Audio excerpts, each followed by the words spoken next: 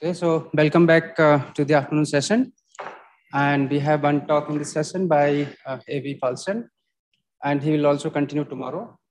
And today he's going to uh, talk about distance problems and uh, their variants. So over to you. Thank you, sir. So everyone hear me well in the back there? Yeah. Okay, good. So first of all, thank you, Saurabh and Jotsaroop for the invitation and ICTS for the hospitality. Been wonderful. Um, the two talks, I'm gonna tell you about stories that have their origin in a discrete setting, so connects a little bit to the discrete theme, but we're gonna go into a continuous setting, see some harmonic analysis and interplay between harmonic analysis and geometric measure theory. Today, I'm mostly gonna focus on some sort of known things, focus on uh, simple configuration, that of distance, and questions related to that one, try to sort of build the foundations. Tomorrow, I will go to more complicated configurations that may perhaps be of more interest to some of the experts in the audience, uh, but the two sort of will be related through that.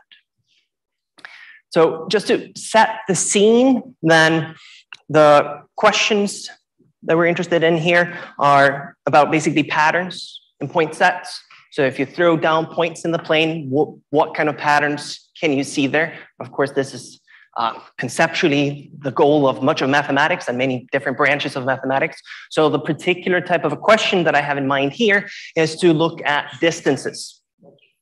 Uh, we're looking at distances. And I wanted to give you like a very sort of concrete example. Like what if I just put four points in the plane? And I chose them very well here. One thing you can do is you can compute all the distances between them. So if you start with four points, you have four choose two pairs. You can compute all distances and you end up with a list of numbers. And one of the questions you could ask is, well, how does this relate to the points? Is there some relation? Does it classify it somehow? Now, some of these things are used for lattices in the sciences that people record them through distances and how often they appear. Uh, but here, the question I'm going to look at, one can ask many questions about this list. Uh, but the question I'm going to ask is how many different numbers show up here? How many distinct distances are there? Now, for those of you who were here Friday and saw perhaps Malabika's talk, she hinted at a different question also, the one that asks how often does, does the most popular distance arise or the Erdős unit distance problem? And so as you can see, there are many questions you can ask. You can ask about the distribution and whatnot, but we're gonna ask about the simplest one, distinct distances. Now, just looking at this, okay, we got the number four and you might ask, well, is that generic? What can happen? And if you just start messing around with this simple example, you can see that, well, you can change the outcome based on where you place the points.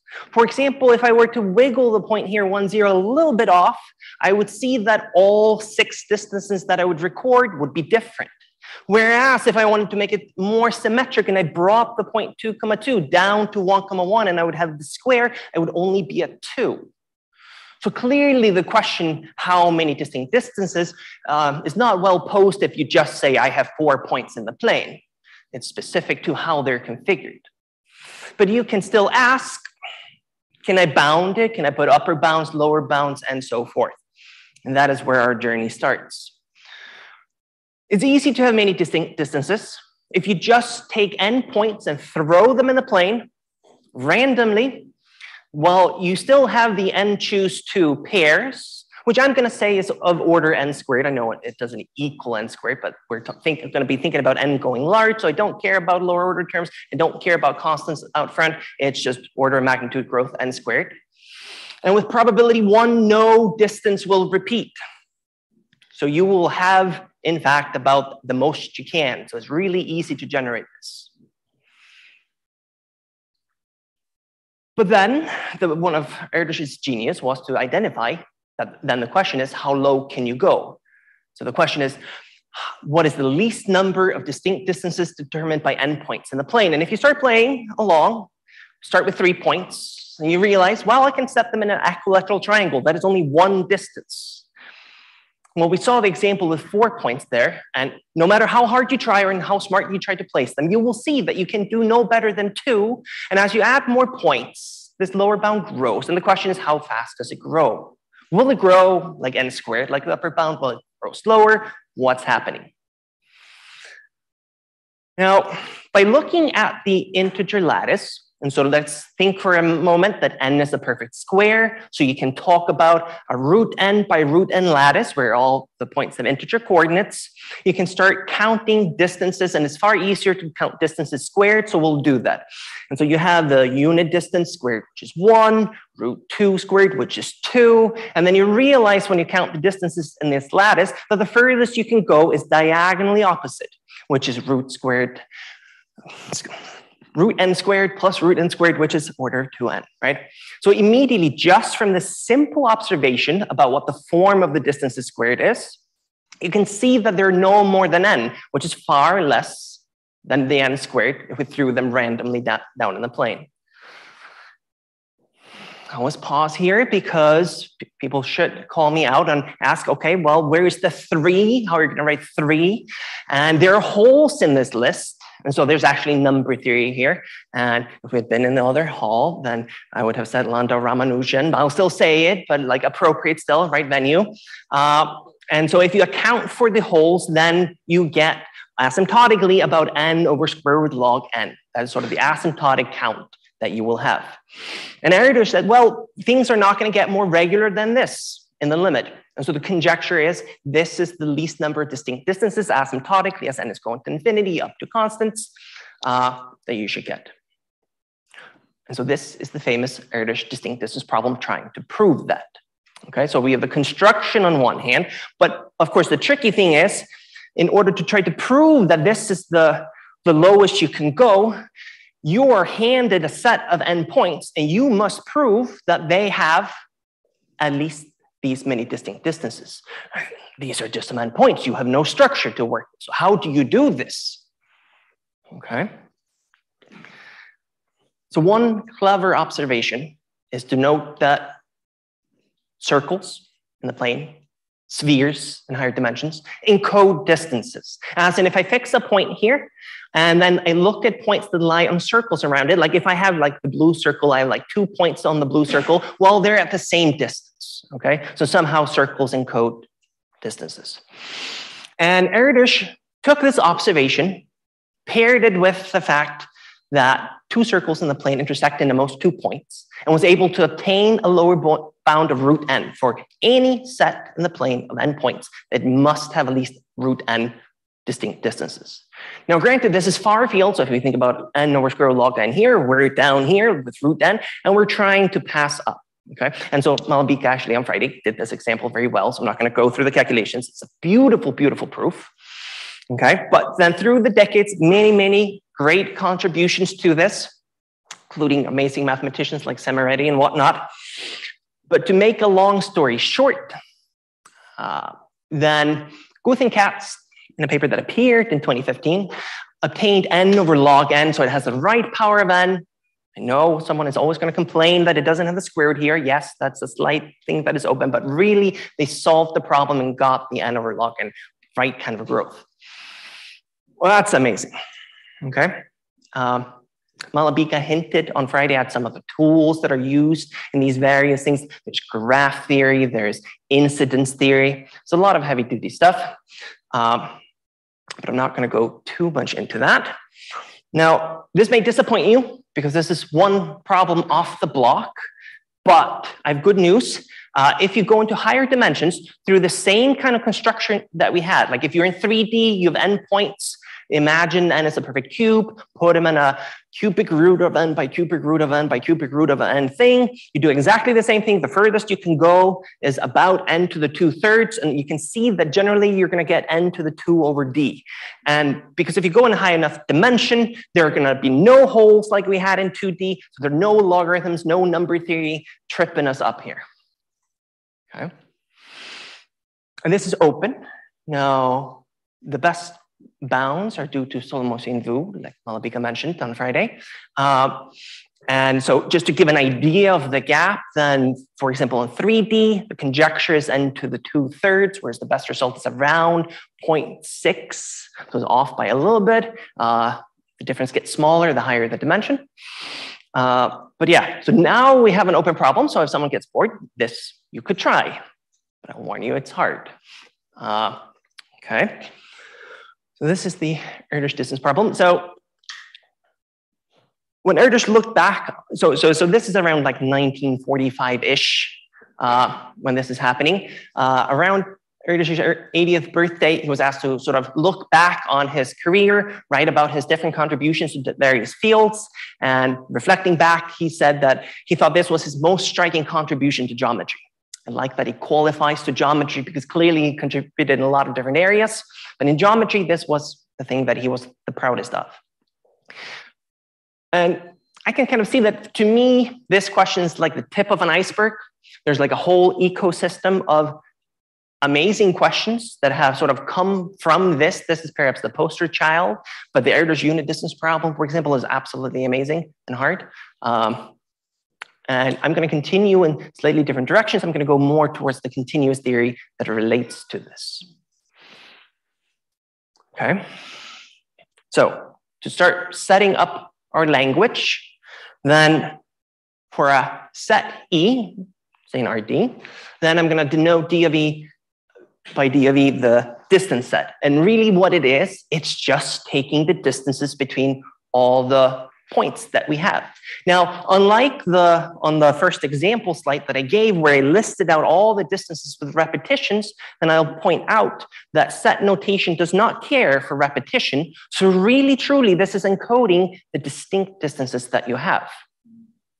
And so if we now rephrase what Guth and Katz did, then they really showed that for any subset of the plane that has endpoints, then asymptotically as n goes to infinity, you are bounded below the count of the distinct distances is bounded below by n over log n up to constants and things like that. So my squiggle is like I'm sweeping constants under the rug, but they will not depend on n. They may depend on, well, here, yeah, may depend on other things. Okay. But I'm trying to push towards the continuous theory, so I would like E to be infinite. And then, although the problem is not resolved in higher dimensions, then the lower bounds still grow with n. And so if you take a limit as n go to, goes to infinity, you are just guaranteed that you are going to have infinitely many distances. So it's kind of like a not a fun question. Well, infinitely many points, infinitely many distances. Ta-da, done. Okay. Sad. But the dichotomy should somehow be that if the set that you started with is large, the distance set should be large. And I'm throwing in sort of, you haven't, we haven't really seen evidence of this yet, but it might have further structure, it might, not just be large, okay? And so the question then becomes, how do we try to extract this? Uh, and there's this, and just first step, we can look at this theorem of Steinhaus, that if you start with a set that is Lebesgue measurable, of positive measure, then Steinhaus showed that the difference set contained a neighborhood of the origin. I mean, maybe initially stated just on the real line, but really easily generalizes to higher dimensions. And as soon as this, and, and, and of course, distance is really, they're just an image of this set, right? So if this set contains a whole neighborhood of the origin, if you look at the distances, then immediately you see that not only the Lebesgue measure of the distance set is positive, but contains a whole interval. And this is, of course, one of the starting points for Malabika's talk about her work with Rani. So that was kind of cool. Okay. Now, even here, there are interesting open questions. So, uh, so what, what's his name again? Uh, Boardman, he had that result that said something along the lines that if you know something about how big this is, there one can show that there exists a universal interval that is uh, in this distance set, or even maybe in the different set originally.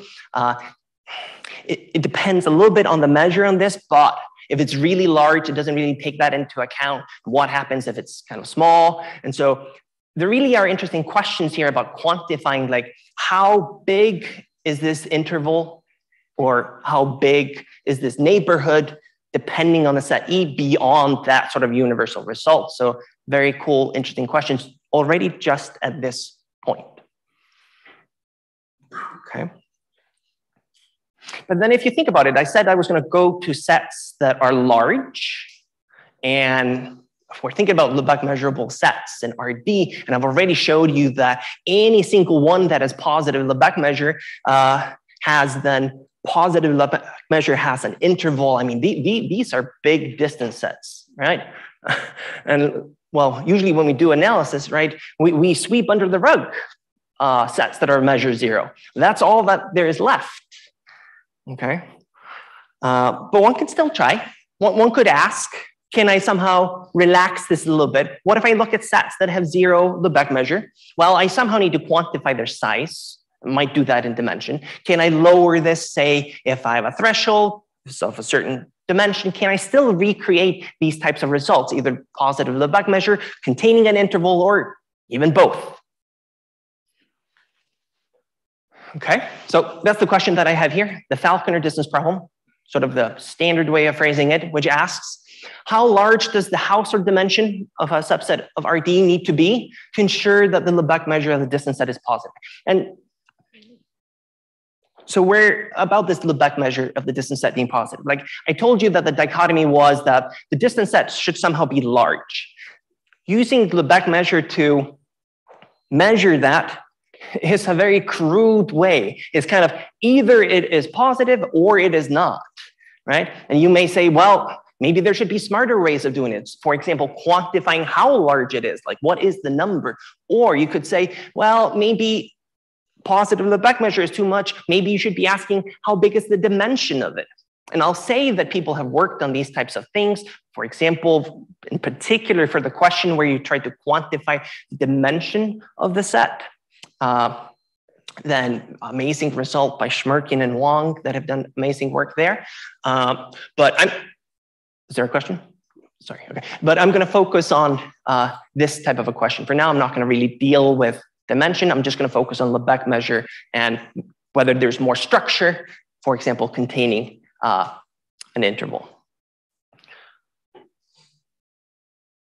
And you look at this, and one thing you may note so I said for Steinhaus, Steinhaus works, I mean, the original proof is a dimension one, works in any dimension. And already in here, you can see I threw in a restriction. I put d bigger equal to two. You might be like, oh, what's happening there? And so in on the real line, you can in fact construct a set that has full dimension, yet the distance set has measure zero.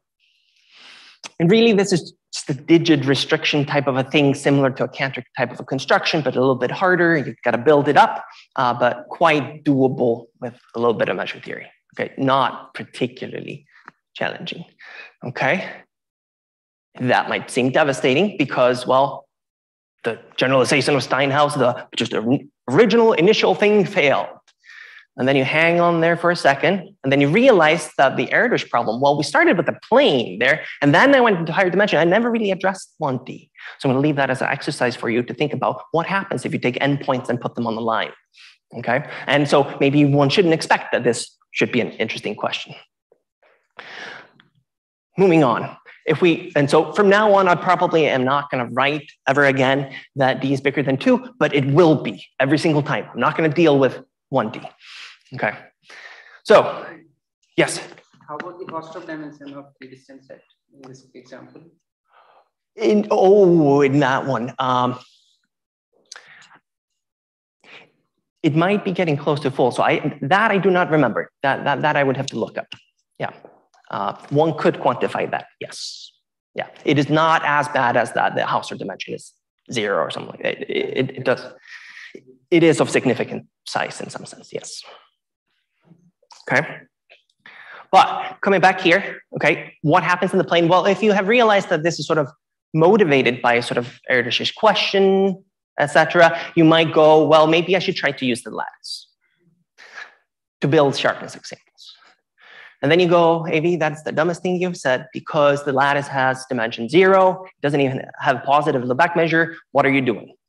And so the true construction is something along the following lines that if you start, say, with endpoints, what you do is that you place balls around them that have radius that uh, depends on the number of points that you have. You scale it down into the unit cube. Then you do this again for something that is maybe like 2n, and you do sort of this exponential growth of parameters where you rescale back, you rescale back, and you can sort of take a limit of these sets, pass to the limit, and depending on how you choose the radius of the balls, you can get a set of whatever dimension you desire between 0 and d. But because you constructed this out of basically the lattice, then counting or measuring distances really boils down to measuring how many distances are there in the lattice and just wiggling a tiny little bit. So it really connects back to the Erdős problem. And what one can show is that if you take sets, that you can find sets of dimension less, strictly less than d over 2, whose distance sets have Lebesgue measure zero. Therefore, you have a conjecture. Well, surely you cannot do better than d over 2. And so the conjecture is that if you're above d over 2, then the Lebesgue measure of the distance set should be positive. Including the equality. Ah, see, the endpoint, there I do not know what happens. And so I always exclude that one for safety. And I believe Falconer did that probably too probably for safety. So that is a major open problem. And so when I re referenced before uh, the work of Shmerkin and Wang trying to quantify the dimension of the distance set, in fact, it, that takes place exactly at that threshold. Looking at if you start with a set of dimension d over 2, how big is the distance set in dimension? And I am not a betting man, so I don't want to bet on what happens there. If I had to, uh, I feel like Probably not, but ah, I don't know. I don't know. Okay. Um, okay, and so that's kind of nice that you can see that there's this that, that this is a very much a spiritual like uh, relative of the Erdős problem. Not only is the question type of similar, start with a large set, you have a large distance set. The sharpness example is practically the same up to geometric measure theory. Uh, and so you might be tempted at this point then to ask, well, does the continuous problem imply the discrete one? Short answer is no. Slightly longer answer is if you work with point sets, so family of discrete point sets where the points somehow are well distributed, could be all. So like one notion could be homogeneous. So that basically means if you break your sort of plane up or your, your set up into little uh, boxes, then sort of no more than one point in each box. So they're somehow well distributed. That, that, that is like one notion of well distributed. In those type of settings, then results on the Falconer distance problem uh, yield results to the discrete setting. And in fact, the, on the combinatorial side of things, people often work there. So in fact, the best results of Solymosi and Vu for the Erdős distance problem in higher dimensions, they have slight improvements if you assume that the set is homogeneous. Okay, so it's like not a uh, setting that you ignore, but it only implies the Erdős problem in those types of settings. Okay, so going the other way from Erdős to Falconer, no clue how you would do that. No, no known way that I'm aware of. Okay. So this is the question that we want to try to answer. Any questions about the setup so far? No? Okay. So first result, Falconer, when he posed the problem, uh, he compared it somewhat to Steinhaus's theorem. So you would have thought maybe he was going to go for positive Lebesgue measure and containing an interval, but he only got positive Lebesgue measure. But look at this, look at the threshold. You got d over 2 plus a half. Like this is within half of the conjecture. That's quite an exciting starting point. Okay. Uh, this was improved significantly later by Mattila and Sjölin, where they got sort of the uh, Steinhaus version of it, or the what comes from Steinhaus, which is that not only is the Lebesgue measure positive, but the distance set contains a whole interval. And, and let me just point out that having this structure is, is significant. Just think about the irrationals in the real line, measure as large as you uh, as it can be, yet they contain no interval at all. So having an interval says something about the structure. Not only do you have lots of distances, but they clump. Okay, so it, it's saying quite a lot. And I wanted to add here that uh, give a shout out to Alex Iosevich, Mihalis Mourgoglou, and Krystal Taylor, who have extended this Mattila Sjölin result to a whole range of distances. That is, so far, the the notion of distance that I've been using is the Euclidean one. But what if you took another one? Well, you can extend it to a lot of distances. What you need is basically the, the Euclid, that the ball, the unit ball in that distance needs to have non-vanishing curvature, and then basically everything follows. And the point is they have set up a very nice Fourier analytic scheme that sort of sheds light on all of these sort of simultaneously. Okay, so far, I hope I've been going not too hard and sort of going a little light. And so now I was going to attempt three slides where I wanted to try to show you how these two come about. And I'm going to do them simultaneously, which you can clearly see is not what happened in rea- reality, right? Falconer didn't just like say, oh, I'm, I can not be bothered to show there's an interval. There's, it's a true sort of obstruction that it requires the right viewpoint. And so I'm showing you the sort of the more modern viewpoint that you can now find in, say, Mattila's book on geometric measure theory and whatnot. Okay, so I'm going to try that. So, step one. The first thing that you might be concerned about trying to prove something like this is sort of a little analogous to what happens in the discrete world, where when you try to prove Erdős's problem, right, you're just given endpoints. You, you know nothing about how they're distributed. I mean, here you know a little bit more. You're given points and you know something about the dimension is above a certain threshold, but how do I use the notion of dimension? Okay. Um, I should maybe throw in, in case there are grad students, that so far I've been using the notion of house Hausdorff dimension. You could ask questions with other types, Minkowski, Assouad, and whatnot. Uh, Hausdorff is the smallest, so it implies sort of it's, it's the strongest statement, but also Hausdorff dimension has lots of great uh, analytical properties. And so it's actually a very nice one to work with, and you will see that right here. Okay. Uh, and so how do I work with dimension? And so there's this wonderful theorem. So let's see, oh, uh, called Frostman's lemma that says if you have a set of a particular dimension, then you can come up, then you can take a threshold, any threshold that is lower than the dimension, uh, and you can construct a probability measure supported on the set, meaning that the measure is zero outside the set, such that the measure of any ball is controlled by the radius raised to that power. And so what you should be thinking about in the Euclidean setting, right, is the measure of a ball is uh, the radius raised to the dimension that you're working with. And this is practically that, slightly worse. You're not allowed to take the dimension, but you can take anything up to the dimension. And here, what is important is that you should be thinking about um, the radius being small, this is not a question about what happens when the radius is large, it's about small radii. So the larger you take the S, the tighter control you have, as in you're putting a small number, and so the higher power you have, the tighter the control. Uh, and so these are probability measures. And what this is saying conceptually is that you can't spike the measure somewhere. If you spike it somewhere, you can just take a ball around there and you will violate something like this. So, it, so this forces it to evenly distribute in some way. Go ahead.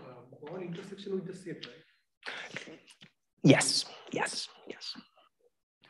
That's sort of implicit for me. Yeah, yeah, yeah. Uh, okay. Now, I should throw in, like, I hid one little thing in here too. Is it also related to the energy of the measure? Yes, we're exactly going there. Exactly. And so the direction that I told you here was that if you have a set of a particular dimension, then you can do something like this. So first of all, that makes me very happy because an analyst, it means that now I have a tool that really quantifies the dimension. Now I can work with measures instead of uh, definitions of Hausdorff dimension that have to do with coverings and things like that that are hard to work with.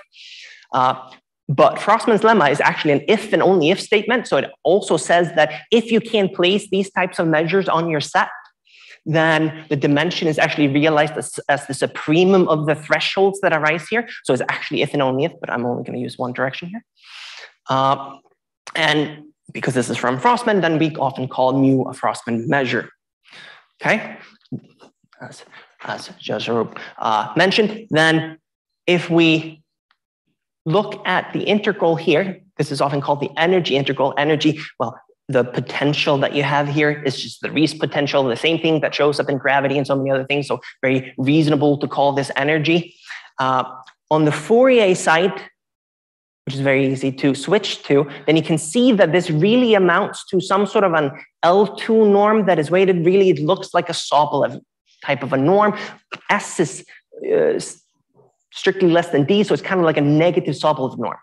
And so not only do we get to take a uh, measure on the set, but we also control this energy integral, as in you control kind of a Sobolev norm of it. So this is amazing. So I started with just saying I had a set of a certain dimension, and I have, through geometric measure theory, I have uh, leveraged that into putting a measure on the set that has good control on balls and fulfill some sort of a Sobolev norm. I am in business for doing analysis now. Okay. So you mean that this, this energy is finite if you just satisfy that condition? Yes. And so that is easy to see that if you satisfy this, this is fine. This actually could be a good, I don't know, prelim question or something. So if you write this out in a level set way, then it comes out very quickly. Uh, and so, yeah, that's a fun one to do. Uh, another thing, little note that I could put in here. So with a Frostman lemma, I said that was back and forth. Okay. Actually, energy integrals work somewhat the same way.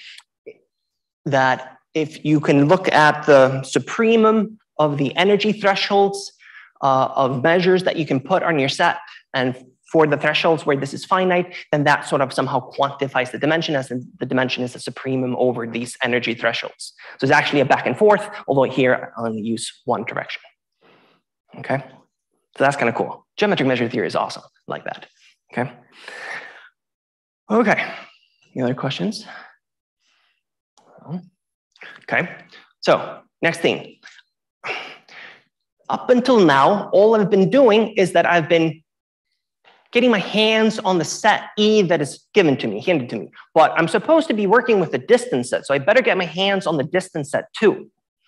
And so what I'm going to define here is a distance measure, and using the letter delta for as a somewhat like a d for distance.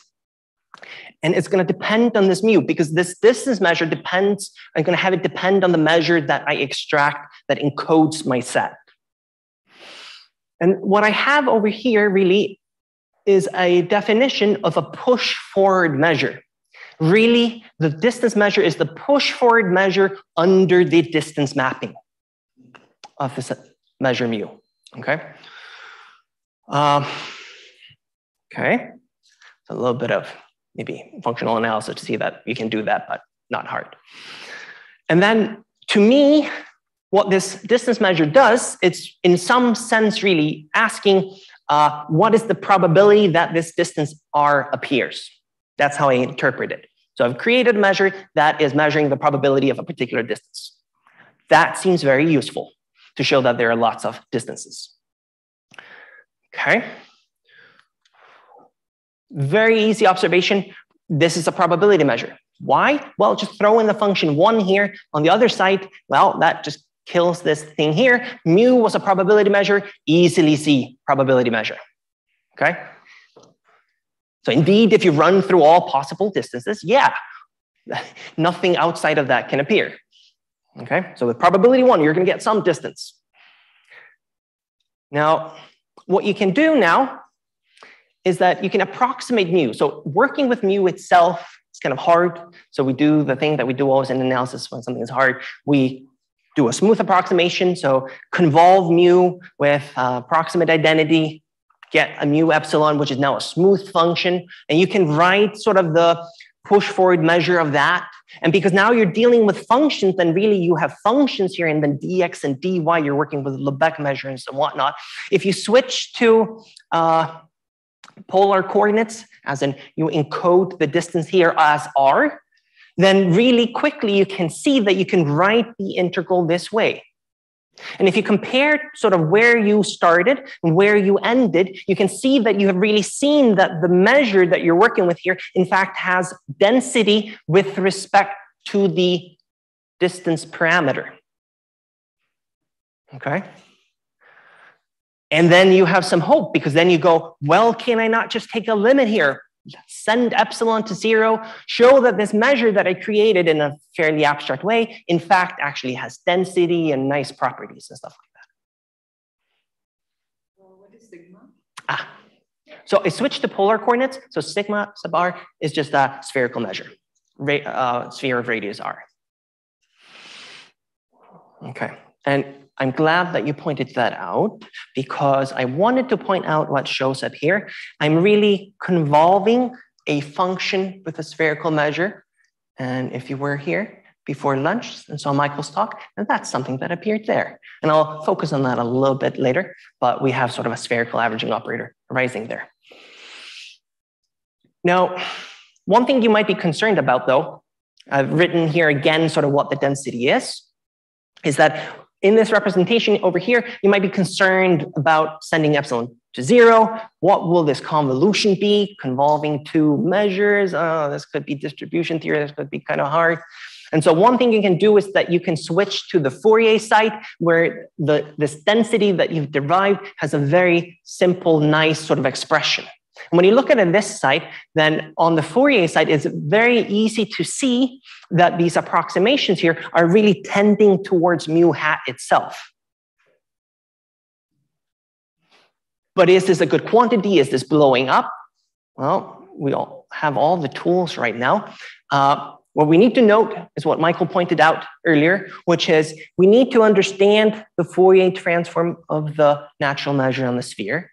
I wrote it here out just being on the unit sphere where I'm thinking about the sigma as being the normalized measure on the unit sphere. And if you've not seen Fourier transform measures, it's just the same as when you do it for functions. It's just then you write the d sigma. And through stationary phase, as Michael pointed out, you get decay. One little nuance I'll put in here sometimes this throws people off, is that this decay here is about what happens when psi is large. Because some people look at this and think, oh, there's a blow up at the origin. And there is no such thing. This thing is bounded at the origin. Uh, it is bounded because if you just move the absolute values inside, then d sigma is just a probability measure, so you're bounded by one. So there's no blow up there. This is a statement about what happens at infinity. But this is psi to a power. This is, if I move this up over here, I see I have a representation which, which is exactly the energy integral. And so in the limit, I get an expression like this, and it is bounded by the energy integral, so it's finite. So I have a well-defined density, and so that already is enough for me to prove the first result that Falconer had. But Further, if I look at sort of the dependence on R in the density, well, this is a nice function of R. Uh, this is a very nice function, the mu hat, okay? Uh, this function as a function of R not only is continuous, is actually differentiable and whatnot.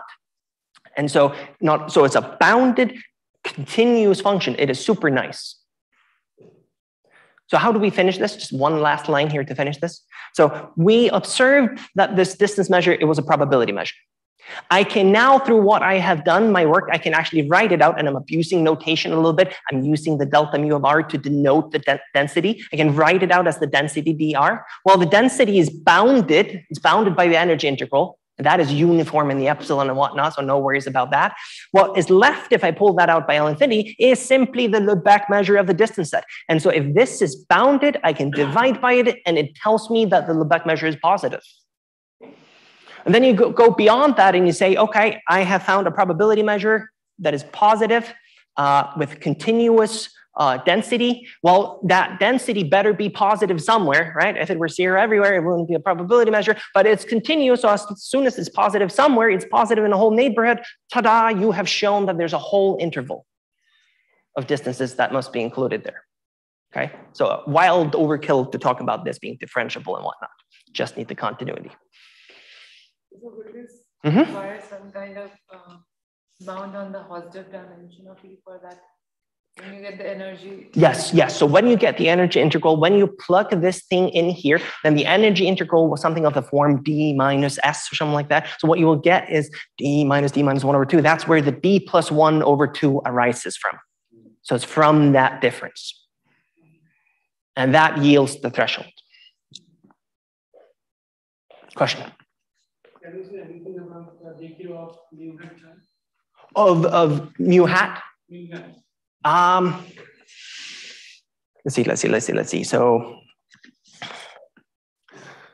well, in an average sense, for sure, maybe not pointwise.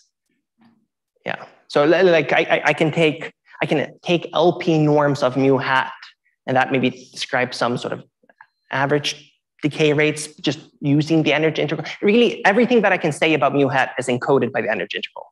That's the only way I know how to get my hands on mu hat. Does that answer the question? Okay, okay. Well, yeah, sort of in an average sense. I, I, I mean, Cantor set has Fourier dimension zero, which behaves very badly for Yes. Yeah. Exactly. Exactly. So. Mm-hmm. Okay. And so this is the story of how you can get Falconer's result, Mattila-Sjölin's result, get all these sort of basic ones, and they're all here in one package. So that's kind of nice. Um, with the spherical averaging operator, that's something that arose. So we have this object here. Maybe if I rescale it, this is sort of my standard version of the spherical averaging operator. Uh, so this is properly normalized so that the integral, so, so, so it's normalized. It's truly an averaging operator. It doesn't blow up as you blow up the scale. And we, of course, saw this heavily in Michael's talk already, but it's kind of nice that through this proof, this spherical averaging operator arises because this, is, this was our fundamental idea, right? In the Erdős problem that somehow circles or balls encode distances, and we see that appear here yet again in some form, okay? Uh, because of things that I'm going to do tomorrow, I'm going to show you some very trivial calculations. So if you have that spherical averaging operator, which I've written again up over here, it is really easy to get some LP estimates on it. On L infinity, you simply just move the L infinity inside, and then, well, the, the, this is normalized, so the integral over the sphere is going to be one, so you're trivially bounded by L infinity. Likewise, on L1, if you take an L1 norm, you just switch the order of integration with Fubini, uh, and again, normalized, so you're bounded by L1. As soon as you have these two estimates, you see trivially that the spherical averaging operator is bounded from LP to LP, or LP bigger than equal to one, and no wonder averages shouldn't really make the in, make the outputs worse than the inputs. Okay? But of course, the point that was very evident in Michael's talk is that not only should the output be at least as good as the input, it should in fact be significantly better. That is because really this is a convolution operator with if you, which if you view it on the Fourier side, it's with a symbol, as in if you look at the hat of the natural measure here, it's not just a bounded symbol, it's a symbol that decays at infinity, so things should be better. Therefore, we have results, like Michael pointed out, these LP improving type of estimates, and then you can interpolate them and get, as Michael pointed out, the full sort of triangle of LP estimates that you can get for this object. Okay, so it's, it's a really, really nice object. Um, and Sobolev bounds, of course, come from three, and they're like, you can continue with all sorts of things. Now, just to throw in, so Michael focused a lot on uh, Lacunary maximal operators or single scale maximal operators. So just for fun, I decided to complete the story a little bit, although it came up in the questions a little bit, and say that you can also look at full on maximal averaging operators. So what happens here is that instead of fixing a particular radius and always averaging over the same kind of a ball, then at every single point you pick the worst ball you possibly could and replace the function with that. It's not obvious how that should behave, even though averages make things better. If you always pick the worst ball, how is that going to behave? Well, these are some of the major developments in the last century. So Eli Stein, these are the spherical maximal operators of Eli Stein. I think I had to mention him. I think that was a challenge for Michael earlier. Uh, uh, showed that this mapped LP to LP if P is bigger than D over D minus one.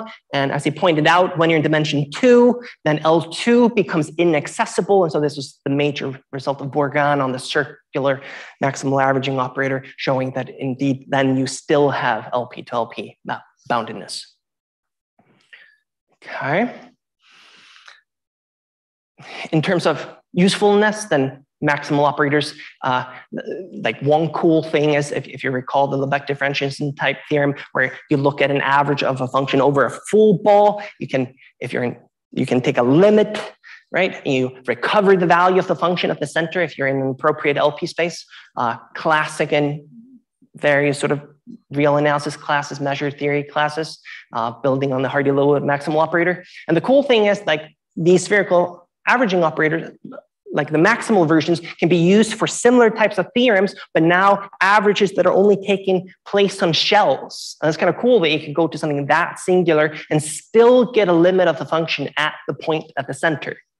But granted, now you, what you have to give up is that you need to be in an LP space where P is slightly larger than for the Lebesgue differentiation type theorem.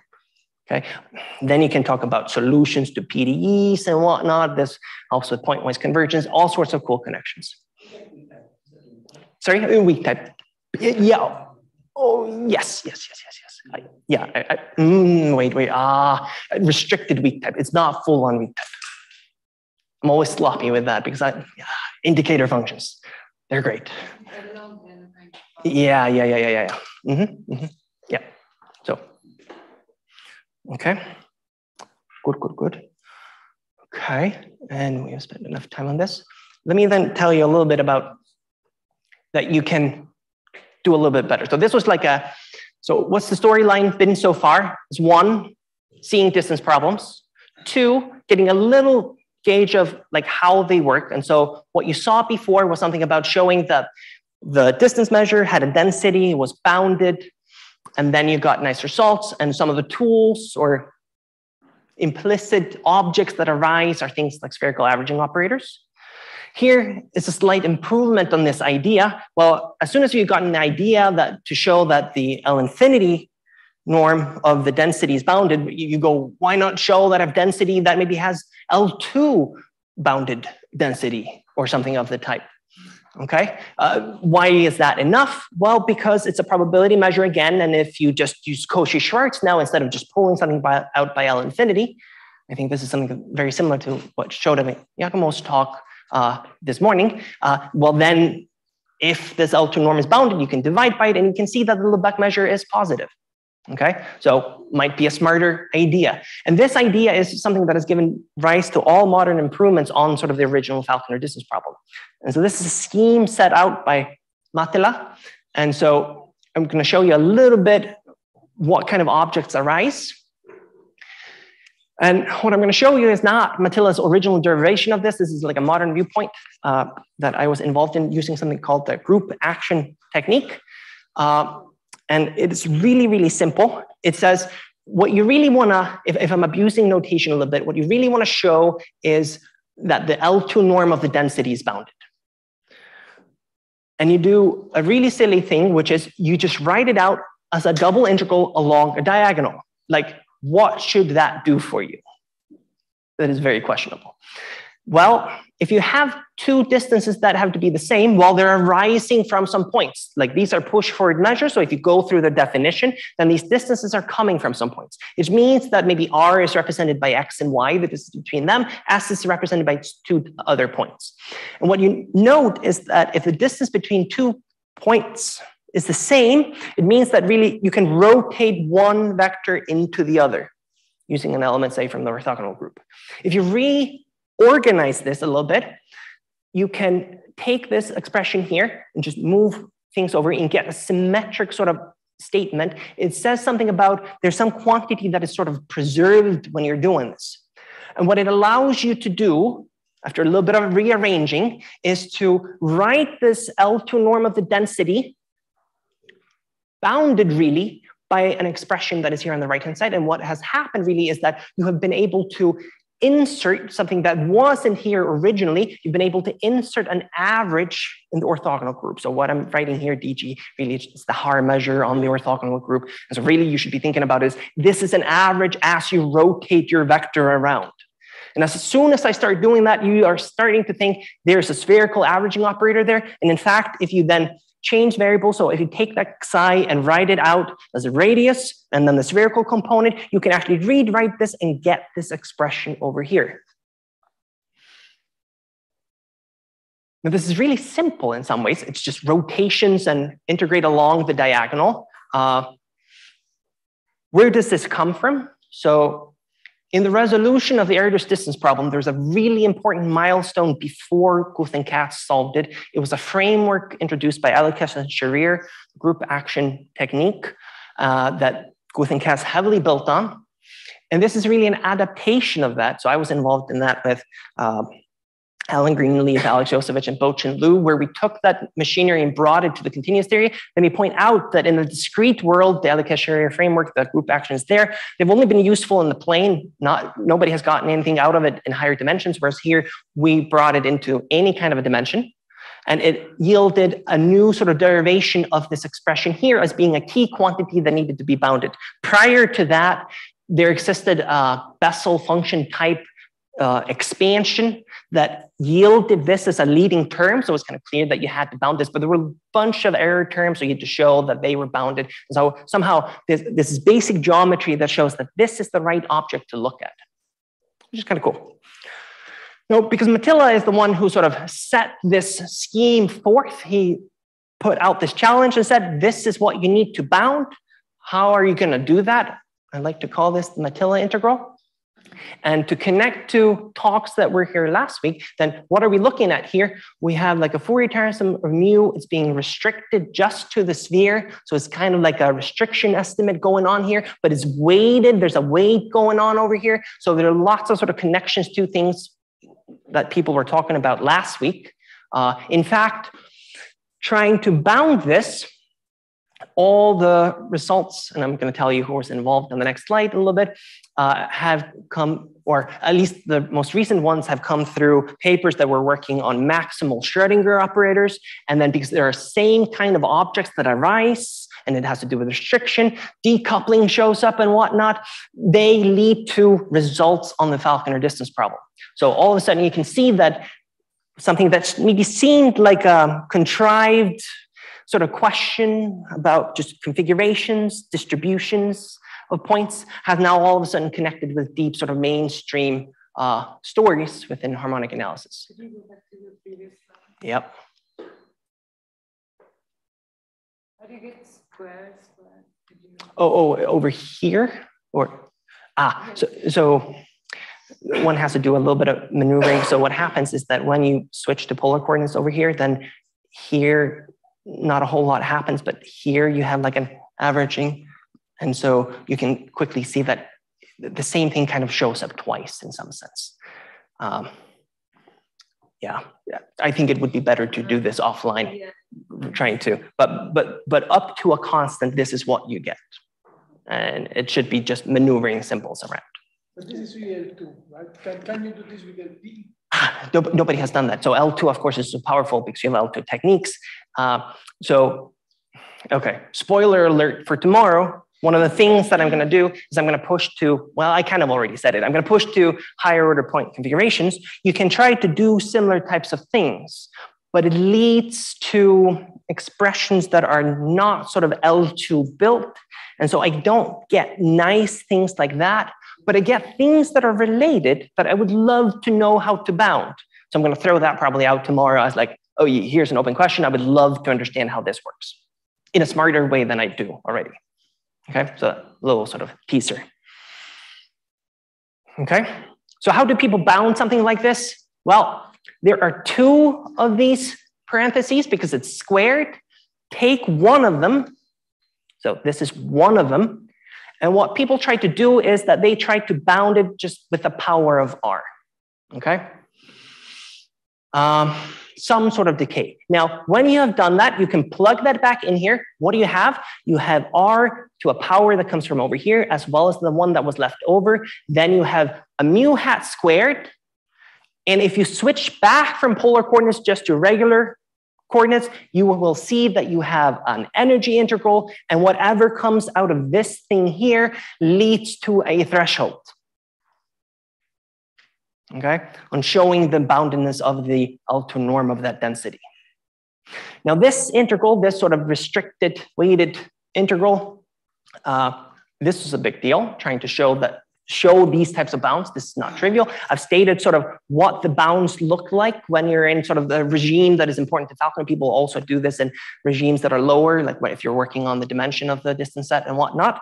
And to make a long story short, then just to remind you that the original threshold was d over 2 plus a half. So improvements, the first improvements due to Wolff in the plane where he showed the sharp result for that integral that I showed you, he got d, d over 2 plus a third, which you can translate to, that is what, 4 thirds in the plane. And Erdogan came along and then extended this into higher dimensions. However, the results were not sharp, as in the uh, estimates on that integral that I showed you were not sharp. It just happened to recreate the same threshold or same style threshold in higher dimensions. So then there was amazing work by a number of authors. Um, so Xiumin Du, Larry Guth, Alex Iosevich, Yumeng Ou, Kevin Ren, uh, Hong Wang, Bobby Wilson, and Ruixiang Zhang. Uh, a subset of them first proved an improvement here down to d over 2 plus a quarter plus a tiny little bit. Uh, that was, so First, it was proved in 3D. Uh, then it was extended to higher dimensions by Xiumin Du and Ruixiang Zhang, so the first and last. Um, and what they did was that they resolved that maximal Schrodinger operator type of a question, and in the at the same time resolved the boundedness results of that integral that I showed you, which gave you these best results. And then you go, that is kind of sad. They resolved an extremely hard question, and we only got down to here. Okay, we're still quite some ways off.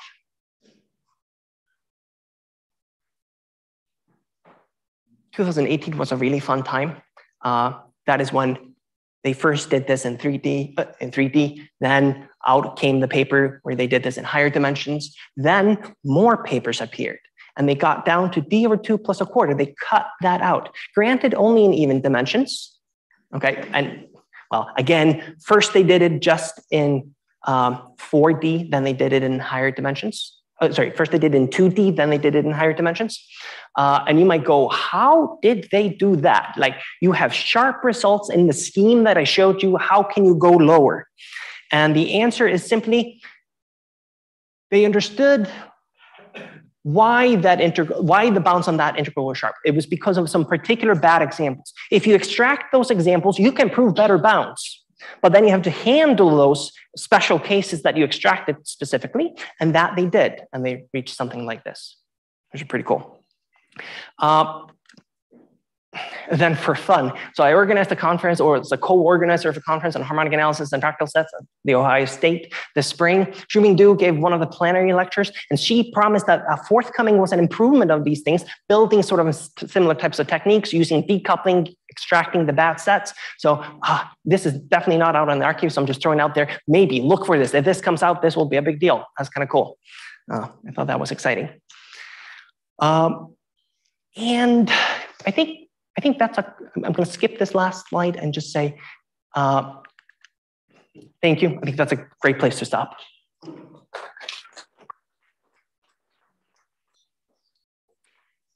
Other? Yeah, question. So could you go back to the last, uh, I mean, the last slide you presented? Yes, yes. So how this dimension even and odd matters in the proof? Sorry, how? Even dimension and odd dimension matters in the proof. Why is even dimension Yeah. coming? in? Oh, why is even dimension? Okay. Um, I think it has to do maybe with the, so, so it's actually kind of cool. The special case that they have to extract is called train tracks, and it genuinely looks like you have lines of points and then little segments in between.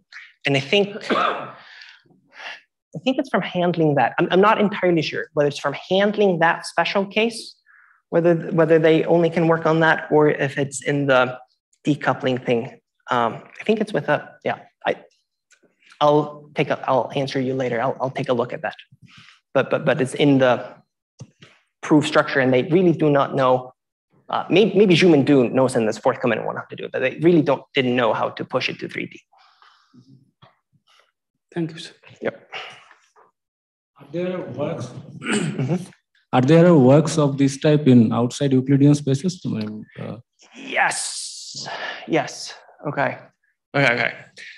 So unsatisfyingly so. Uh, in the following sense, do this on the sphere. Well, on the sphere, just localize. It looks like RD. You immediately get the same thresholds, right?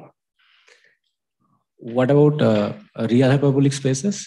Well, you can do so. Basically, all the results that I know are of the form. Oh, zoom in, localize. It looks like RD so if you have something that does not look like RD, well, that could be, we could talk about that. Like that, that I do not know what happens there. Okay. But you bring up an interesting point because there is an idea. So let's recall how the sharpness examples were created. They were created from creating a lattice, right? You're on the sphere. Some of the lattice is not natural on the sphere. Like, yes, as a patch that looks like RD, surely you can put a lattice there, but it doesn't look very lattice-like. And so somehow the obstructions, like the reason you get these thresholds somehow is one could phrase as arithmetic structure. You have the lattice, it has arithmetic structure, that is the obstruction. On the sphere, somehow you don't have the same arithmetic structure, so there's a folklore idea floating out there, not for me, like this has existed for a while, that says maybe, just maybe, you should obtain better results on curved things where you don't have arithmetic structure, for example, on the sphere. And just nobody's close. But that would be like a really, really cool thing if anyone could exhibit that. Changing the group law, I think uh, recently, a few years back, I, yeah. I had seen one work, I forgot the name of the author, on Heisenberg group. Yes. Utilizing the uh, uh, integral energy. Okay, yeah. Okay, yes, thank you. Forgotten the author. Yes, yes, yes. Heisenberg group definitely sees action. Yes, yes, yes. I'm just a very Euclidean guy, so. Uh, so, so if the Hausdorff dimension is bigger than d by 2, then the Lebesgue measure is positive. That is the conjecture, right?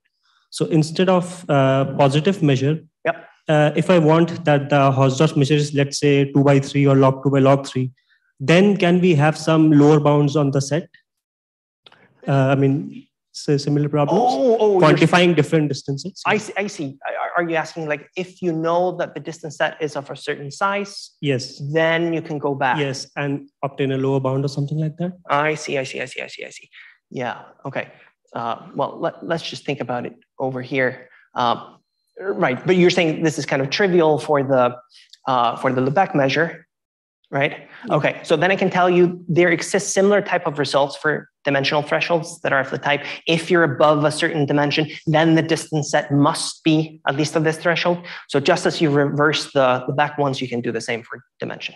Oh, okay. Yeah, and, and, and it brings up a fun point, which is to note that really these are extremal questions that remind me a little bit of what Yakumo was talking about today. It's about finding the best possible points and stuff like that. So let's just note that like these thresholds the over two are stupid if you have like nice things. Like if you have a curve in RD, well, yeah, it's going to have a positive distance measure, right? It's far smaller than the threshold. The threshold is about guaranteeing that the worst, absolutely worst cases go through.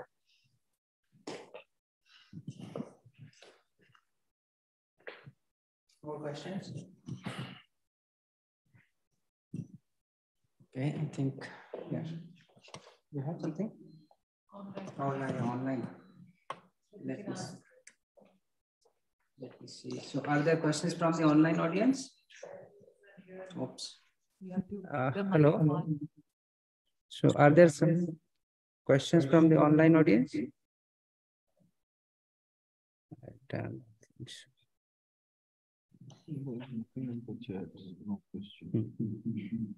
Okay, I think. Yeah, I think we can. Yeah, yeah, that's good. So let us thank the speaker once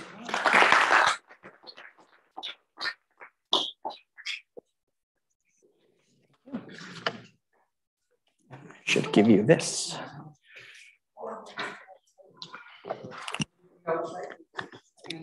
Yeah.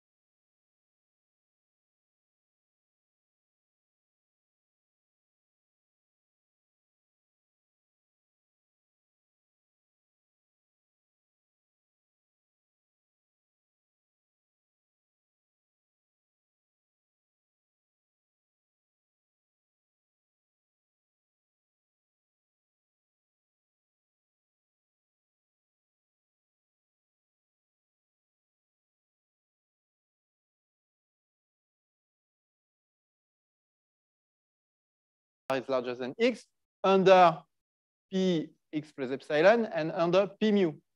So this is just a binary entropy uh, divergence here. And this uh, binary entropy uh, divergence, I can uh, lower bound it by a simple inequality. So if I look at those terms, this one is close to one, and this one is close to zero. This is my deviation probability, and this is my typical event. Okay?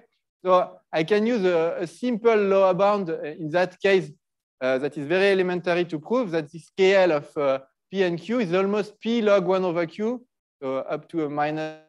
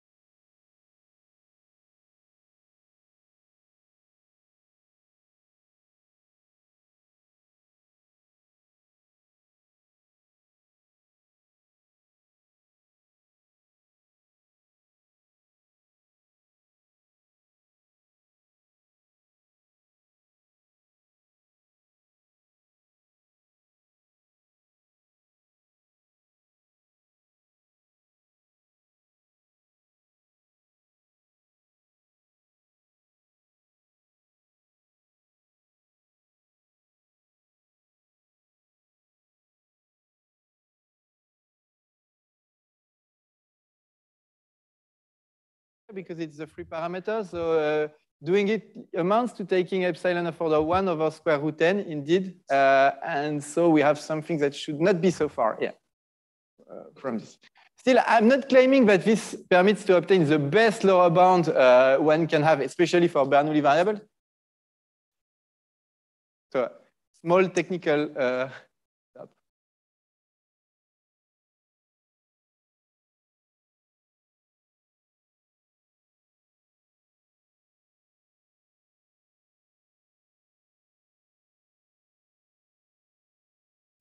I hope I will get extra time for.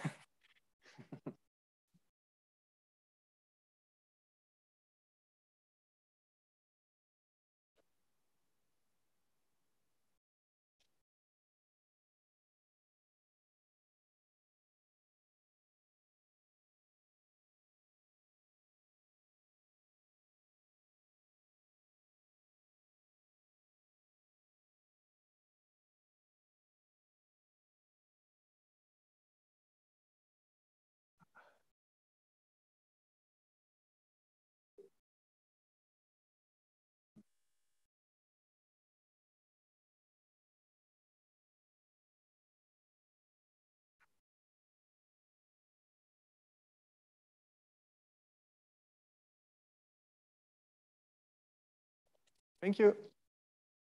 So I, am not claiming that this is the best inequality and the most interesting we can get for, for this problem, especially for Bernoulli, but just that there is a very simple and generic uh, way to prove lower bounds that we will use in many different settings that is very uh, practical in this, and that is an alternative to the change of measure argument. So for example, if you know about bandits, you know the Lai and Robbins law, uh, uh law uh, lower bounds for uh, regret, well, we can prove more simply the Lai and Robbins lower bounds for regret using such, uh, such arguments. So now why we have uh, uh, considered these uh, reminders. Uh, we can start our optimization program, so our black box here. And as I told you, we'll start with this very gentle, in a very gentle way, where you have, we have a function on x, where x is just a two-point set, zero and one. Okay, and we have to find the value between f of zero and f of one, which is the largest.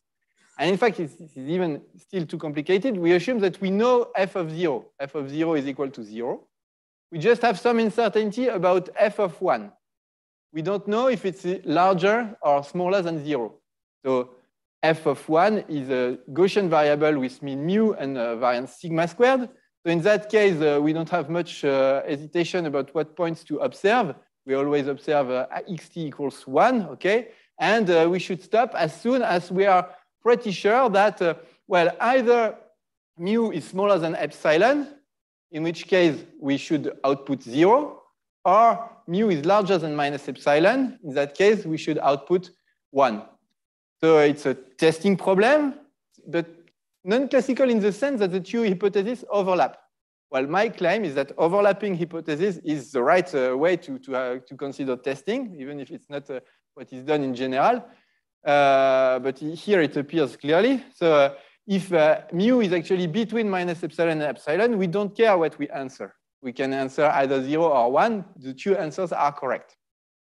And the question is, how many samples do we need to do this, to, to, to find out if mu is like this or like that? Well, we can compute it pretty exactly. We have the following result. For every epsilon delta PAC strategy, the expectation of under mu of uh, tau delta has to be larger than uh, 2 sigma squared divided by absolute value of mu plus epsilon squared times log 1 over delta. Um, it's an asymptotic result. So this is true only when delta goes to zero. We will see why. And uh, besides, there is a strategy that reaches this lower bound, a simple strategy, namely a one that uh, has a simple interpretation we will see. And, but for the time being, we can only remind, remind that the lim sup of the expectation of the same thing here is actually smaller than the complexity. Thus, in that sense, the algorithm is asymptotically optimal, and we have determined the exact complexity of this optimization problem, which is equal to uh, this term here. So how do we get such a bound? Well, in fact, um, the, the ID will be systematically change of measure. So we cannot stop before we, uh, the, uh, we have an alternative hypothesis that is sufficiently likely to produce the data. So as we will call uh, for every function f, we will call alt of f during the, the entire talk, the set of functions for which uh, the optimal points of f, of f is not included in the optimal points of j.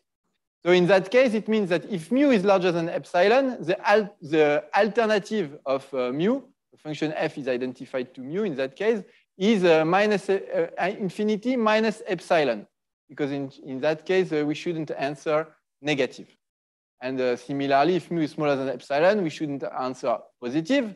And if mu is between minus epsilon between, and plus epsilon, the alternative set is the, the union of those two sets. So here, any answer is correct, but there are, uh, still the alt of mu is defined like this. So I'm not claiming that the intersection of the optimal sets is empty.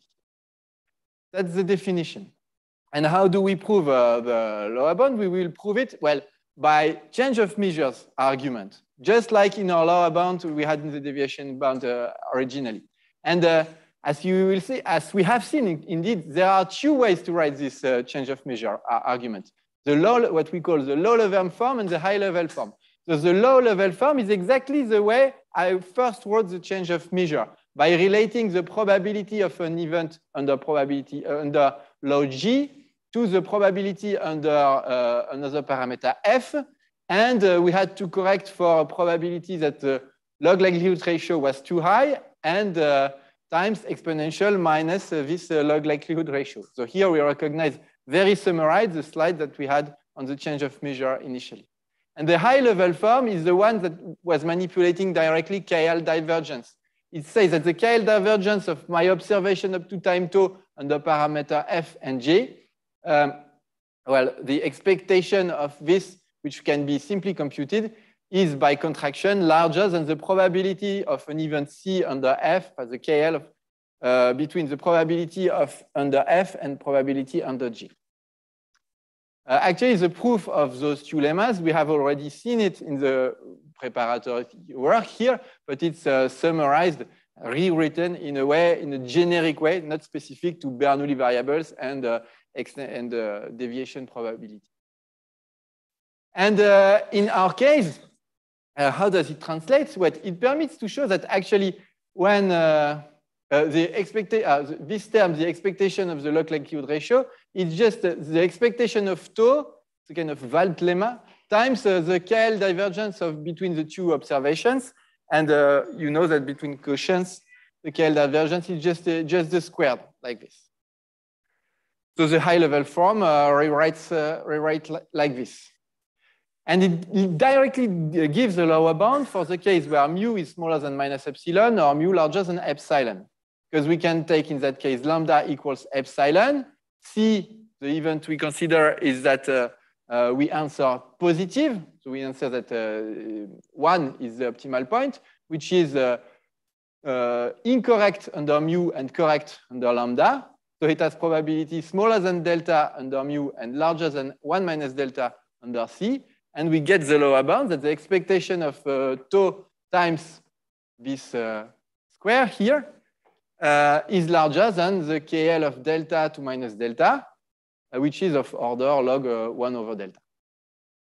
So actually, this proves the first, uh, this proves this inequality just for the case where mu is smaller than minus epsilon or larger than plus epsilon, but it proves it in a totally non-asymptotic way inequality is true in that case. Asymptotic uh, inequality is necessary for the case where uh, mu is between minus epsilon and epsilon. This will be my, my first uh, question to the audience, actually. Can you prove this inequality for the case mu between minus epsilon and plus epsilon by using the high-level form? We were never able to do it. We always had to dig into this uh, low-level change of measure. And the consequence is that we only get asymptotic bounds, asymptotic lower bounds, which is a bit of a pain. So it appears empirically that actually uh, the lower bound is not true exactly for uh, mu between minus epsilon and, and, epsilon. We expect that there is a, something that depends on, uh, on delta here, uh, non-trivial. But still, uh, we are very interested in trying to get rid of this uh, awful low level proof in the case where mu is minus, between minus epsilon and plus epsilon. Now, the strategy. How do we reach this optimal complexity? Well, there are two ways to see it. The simplest way probably is the graphical one. So imagine uh, we consider the random walk whose increments at the are the observations of our unknown arms. So it's a, it's a biased uh, random walk, okay, uh, more or less a Brownian motion, okay, a discretized Brownian motion with either a drift that is positive or a drift that is uh, negative. Uh, we don't know. So if it's larger than mu, uh, the drift will be larger than the, the drift under parameter epsilon so, uh, here. And if mu is smaller than minus epsilon, the drift will be smaller than this drift here. So how to make the, the difference simply and how to know if we are in the case where the drift is like this or the drift is like that. So we can simply uh, construct a confidence region for both, both cases. So here I have uh, the uh, confidence uh, interval, say, for any random walk that has a drift uh, below this uh, curve here. Here I write minus epsilon times t plus square root of t times the variance. So I have something that, that, that grows like this. And similarly, this is a lower bound for the random walk if the parameter is indeed larger than plus epsilon. So my procedure will be very simple. It will see the random walk, and as soon as it gets out of one of the two boundaries like this, we stop, okay? And if actually mu is smaller than minus epsilon, the probability that we ever get above this curve will be smaller than delta. That's how we construct it. And similarly, if the drift is above uh, uh, plus epsilon, probability to go below, below this curve will be smaller than, uh, than delta. So our stopping time will simply be the first moment when we go either below this curve or above this curve. So this will be for sure between, before the time where they meet here, because after that they have an empty intersection. And uh, we can prove that on average, this will happen approximately here. So when a typical run going up will uh, uh, cross this uh, upper curve here. And when we compute this moment here, we find that it is exactly sigma squared log 1 over delta divided by 2 epsilon. And so we just need to upper bound the probability that it is larger, related actually to a probability of deviation for x n bar. It means that uh, okay, uh, if, if the drift is actually larger than epsilon and we are not finished at that time, it means that our x n bar is larger than it should. And uh, this will happen with smaller and smaller probability, and so we will upper bound the, the probability like this. So this is the first way to see it. The other way, statistical way to see it, is con to consider a generalized likelihood ratio test. So uh, if you write the statistic of the generalized likelihood ratio test, you obtain, uh, you, you obtain it like this.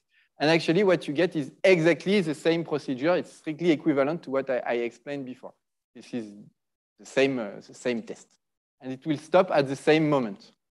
And we can study the properties of this uh, sequential GLRT. And as I told you, we can prove quite reasonably simply that uh, the expectation of the stopping time will be smaller than uh, the complexity term here.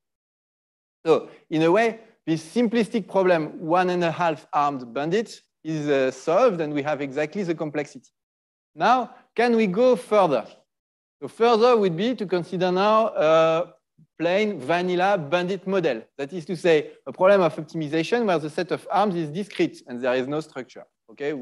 No relation between the parameters. So this is what the situation looks like. You have Gaussians, they have some uh, means, and uh, you would like to find the one with the, the largest mean. So you may sample like you want from any of them.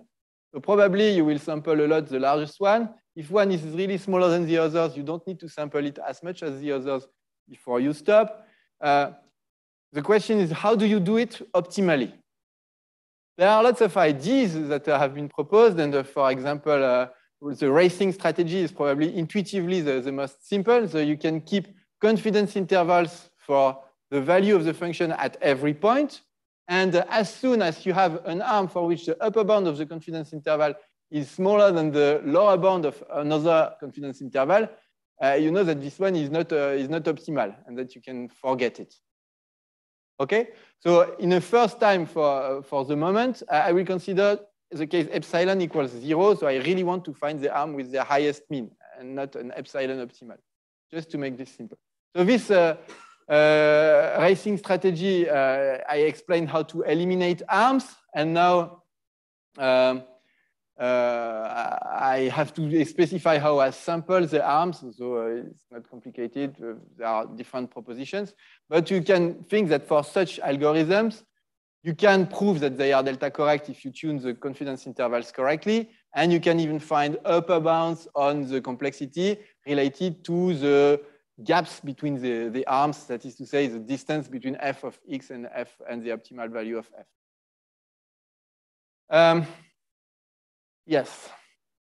Actually, so these are ideas and there were bounds and algorithms studied like this. But uh, what we wanted to do with Emilie in that case, that dates back to 2016, was to find really the complexity of this problem. And uh, we could pro prove the theorem, uh, the following theorem, that the expectation of tau for any delta correct algorithm, so there's no epsilon here, uh, is larger than log 1 over delta, say, times some function, t, some t star of the function f, where t star of f is a, is a property of the function that appears to be the solution of a min-max problem like this, solution of a kind of a game. Um,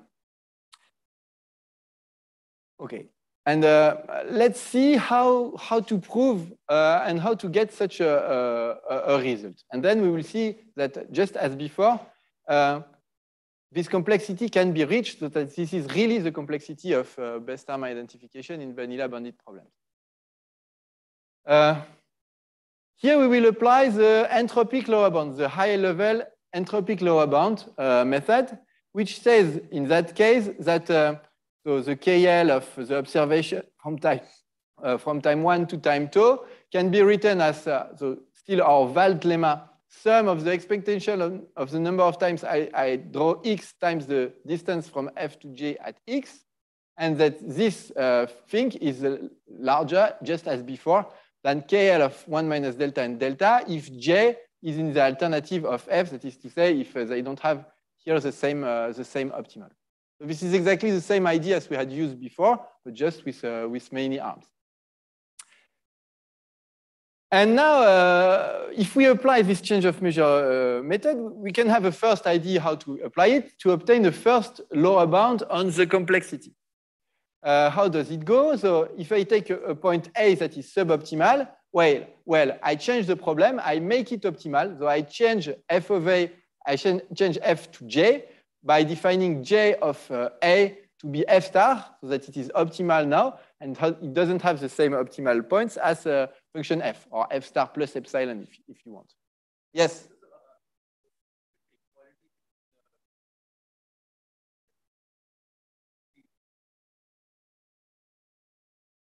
Uh, here? This one? Oh, okay. So uh, I went a bit fast uh, behind this. So there's a martingale uh, argument and stopping time uh, behind it. But uh, morally, it's a tensorization property. That the KL of a product measure is the sum of the KL. Okay? Just here, the number of observations of each arm is random. So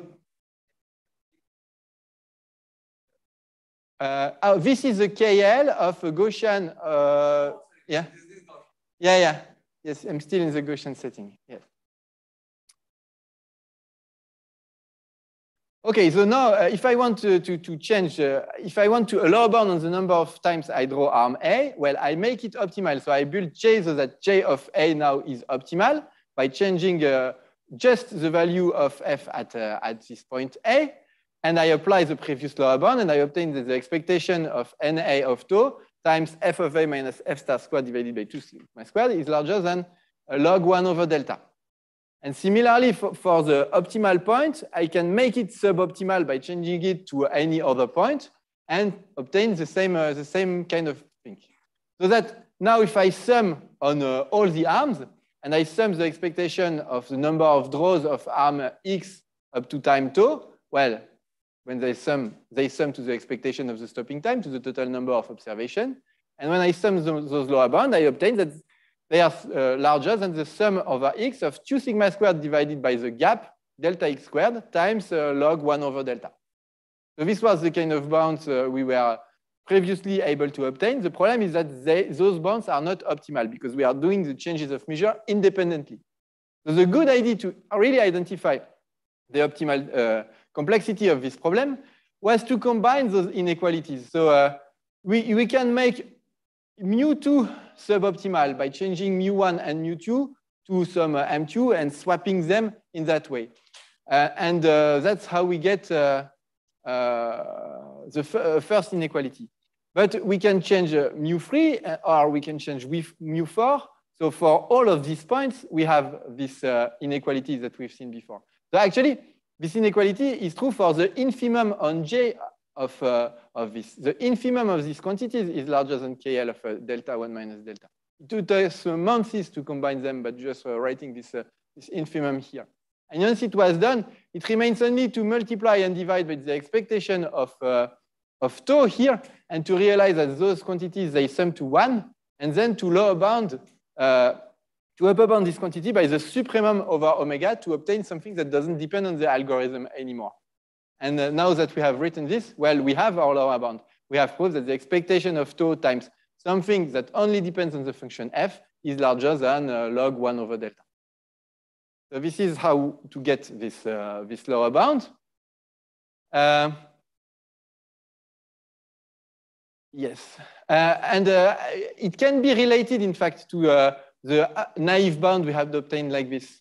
So uh, actually, uh, this T star of f, it is always larger than the upper bound we had by the naive method. Okay, we have improved the naive method, but we can prove simply that it is at most twice larger in the Gaussian case. It's not at all true in other models. Here I focus on the Gaussian case just for the clarity, but the arguments extend to general one parameter exponential families with no difficulty. Just in the Gaussian case, one can prove that actually the gap bound is uh, correct up to a factor two only. And uh, well, this extends to PAC optimization. So that is to say, when we only want to find epsilon optimal arms, then we get a result that is similar, except that again, the fact that we have several uh, possible correct answers now changes our lower bound to an asymptotic lower bound. And the technique is no longer the high level, but the low level form. We are obliged to, to use it, and we are sorry for that. So apart from this, we get a result that is pretty similar. The limit of exponential tau divided by log 1 over delta is larger than a complexity term. It's no longer T star of F, it's T, T star epsilon of F because there's a small epsilon showing up in the optimization problem uh, that we have here. Uh, Now, uh, how to reach those, those uh, complexity terms? Well, again, the way to obtain a, an optimal procedure from that is to use a GLRT, a GLRT stopping rule. The GLRT, we can compute it in that case. It looks like this. It's uh, the first moment when we have such an expression. Uh, okay, I won't go into it. It has a simple explanation. It has several simple interpretations, indeed, uh, that we express in our 2016 paper. But uh, what you should only remember is that, uh, well, choosing correctly a result here for the GLRT, we can prove that we built a procedure that is probably approximately correct.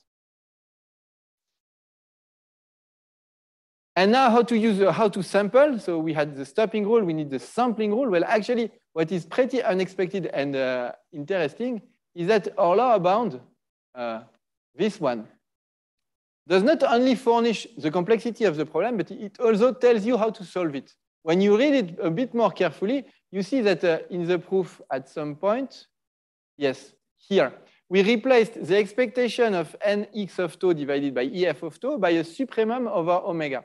So if we want to reach the supremum here, we have to make an algorithm that for which the proportion of draws of each arm respect the omega here that uh, are the solution of the optimal, uh, of the optimal program.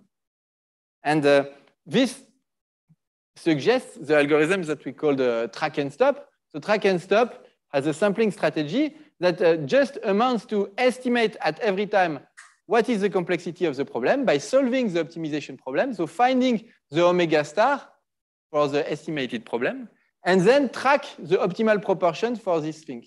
And if everything goes well so our estimates of each of the values f of x will converge to the right value.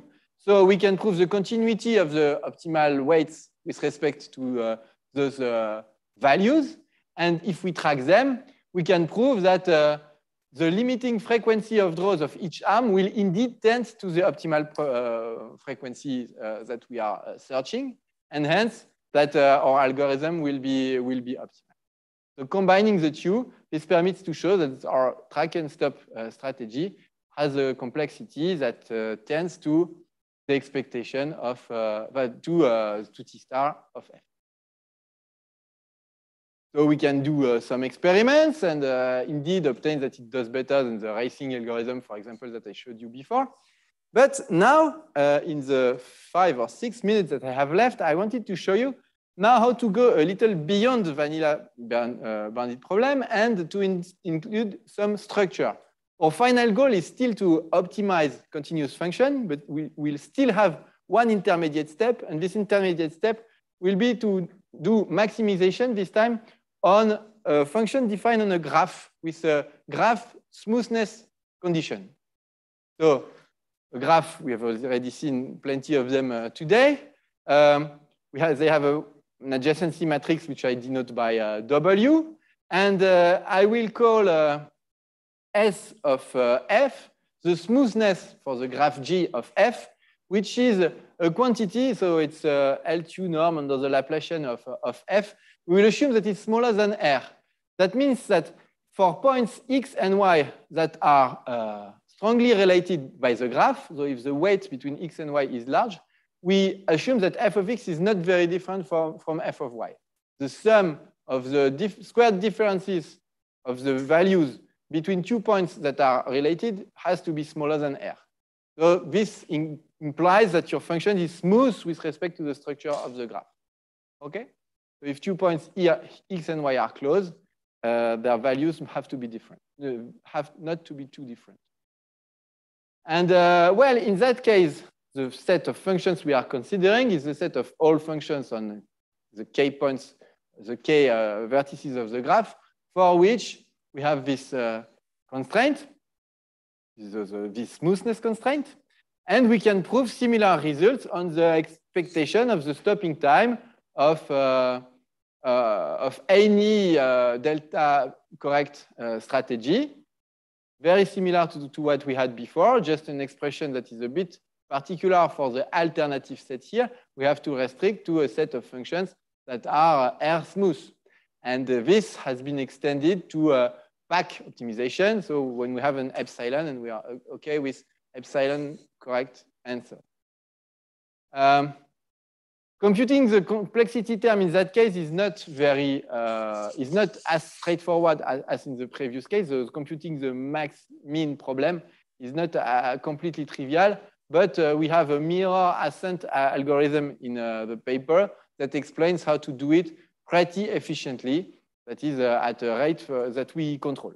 So for optimization, from an optimization point of view, it is a slow rate, but for us, it is sufficient to uh, what, uh, what are our needs. Uh, the algorithm looks like this, so maybe I don't have to go into the details now. And uh, we can uh, prove that uh, well, there was no state of the art for this problem, but we could compare the, the empirical complexity we found with the theoretical view and, and show that there is a good match between the two. Um, now, let's conclude with uh, what we were initially interested in. That is to say, what if we have a continuous function? Well, in that case, we may discretize the function, and then uh, we have a graph. Uh, if the function is uh, R2, say it's a, it's a, it's a grid. Um, and uh, we may encode the regularity of the function f in different ways.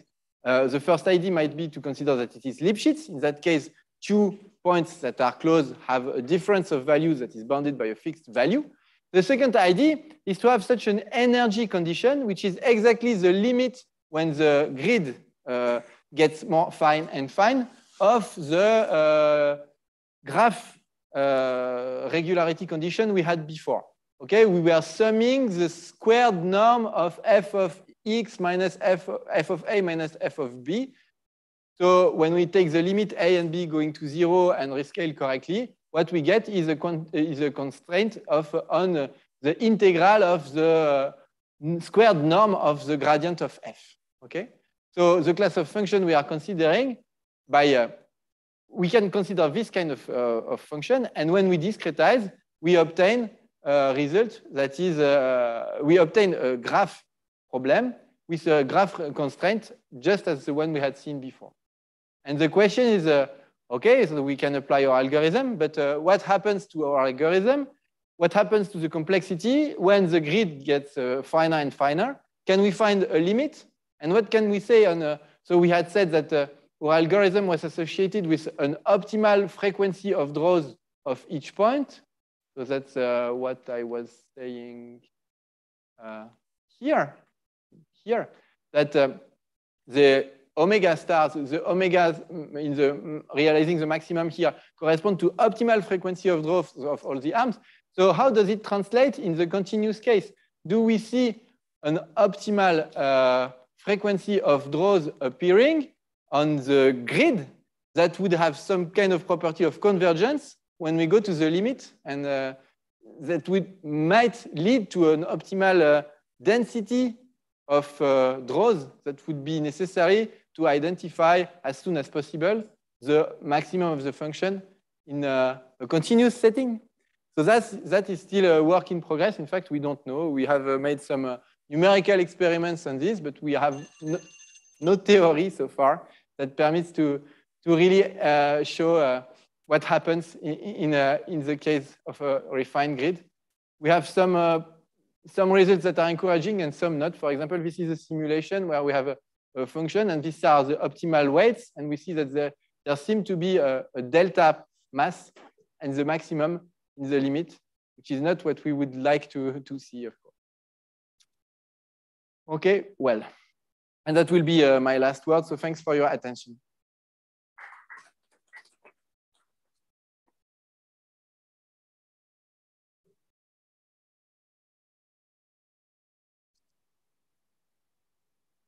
Yes.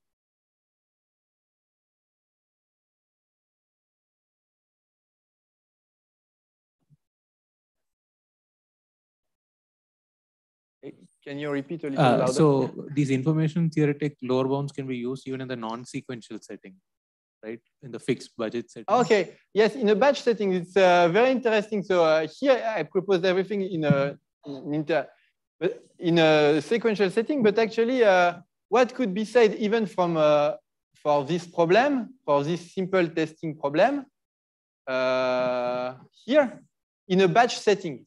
So actually, uh, yes, uh, the lower bound technique with the change of measure applies and leads the same quantity. But this quantity is not optimal in the batch case. It's not optimal by a factor four. I can show you. In that case, for example, well, if you just consider the simple testing problem, mu equals epsilon versus mu equals minus epsilon, you can compute the Neyman-Pearson uh, test and look exactly at its complexity. You will find that its complexity, it's um, eight times uh, uh, sigma squared divide, uh, no, uh, sorry, it's, uh,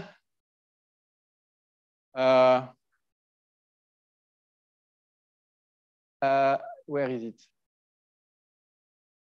Yes, it's here. Uh, the true complexity, batch complexity of this problem is this one, whereas the sequential complexity of this problem is that one. And the lower bound we obtain by information is the same for the batch and for the uh, sequential setting, which amounts to saying that this information technique gives the lower bound with the right constant for the sequential setting, but uh, pessimist, a pessimistic lower bound for the batch setting by a factor four. And I don't know how to informationally, with purely informational theoretical bounds, obtain the true uh, bound for the batch, lower bound for the batch setting. A side message is that in this case, there is a gap of four in the number of samples you need uh, between the batch setting and the sequential setting. So you can have the same level of confidence with four times fewer observations on average if you allow for a sequential test instead of a batch test. And these graphs explains it in a way.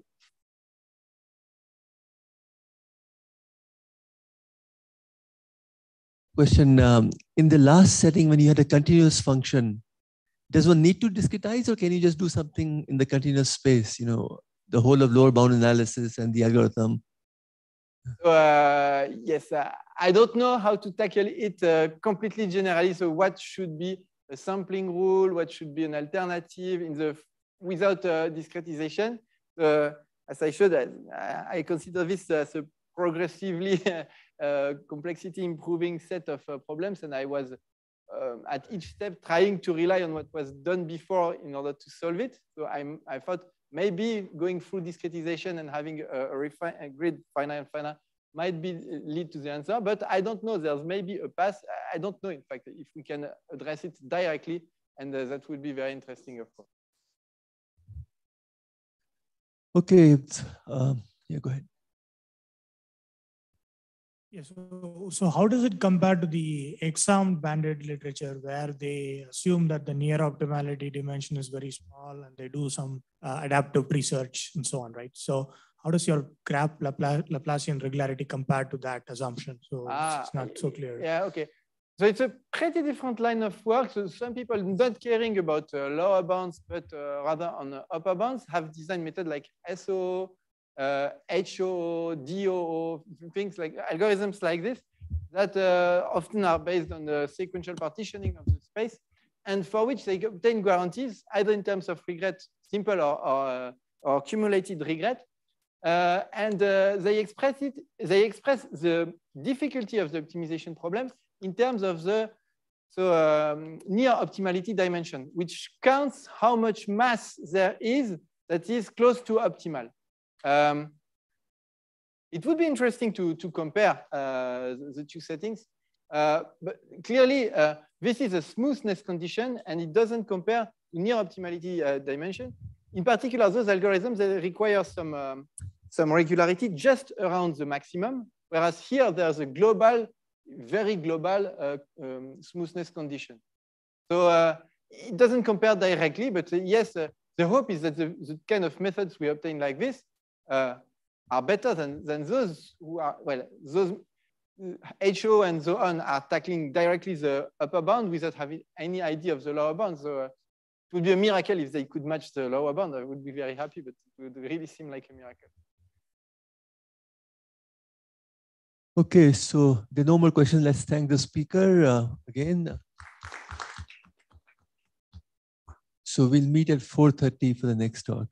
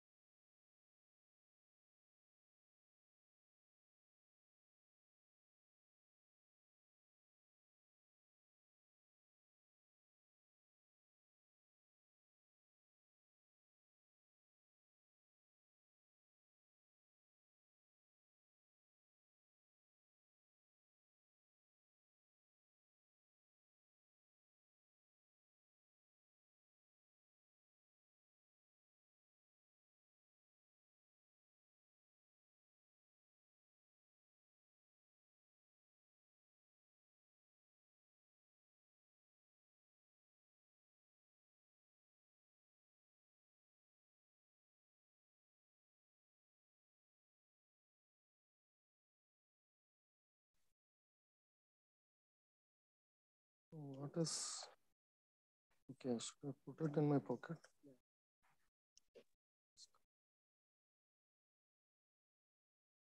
Hope it works.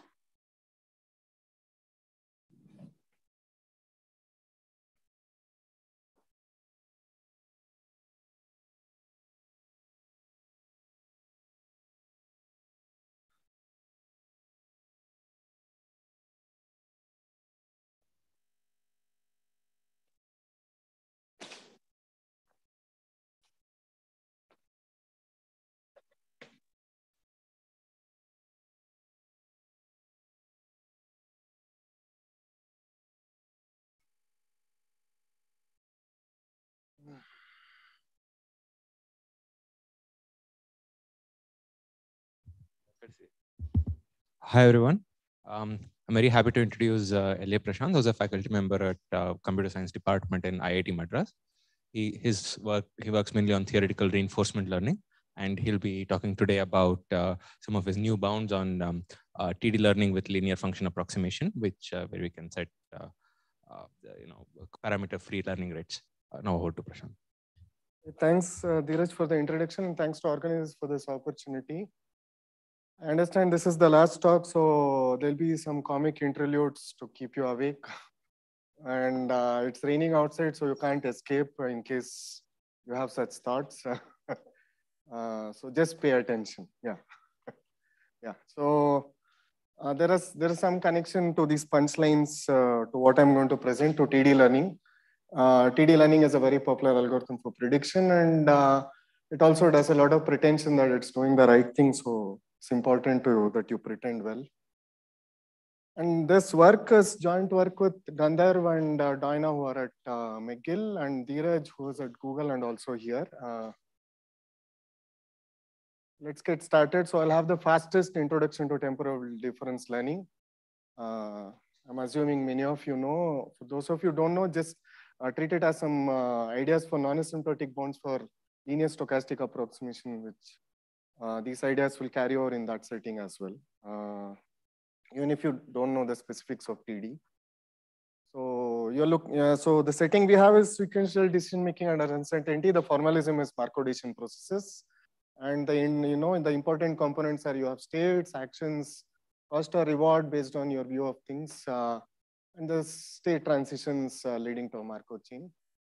And the outcomes are uncertain, uh, both uh, cost or rewards and the state transitions. And the objective is to minimize some kind of a cumulative uh, sum of your costs or rewards.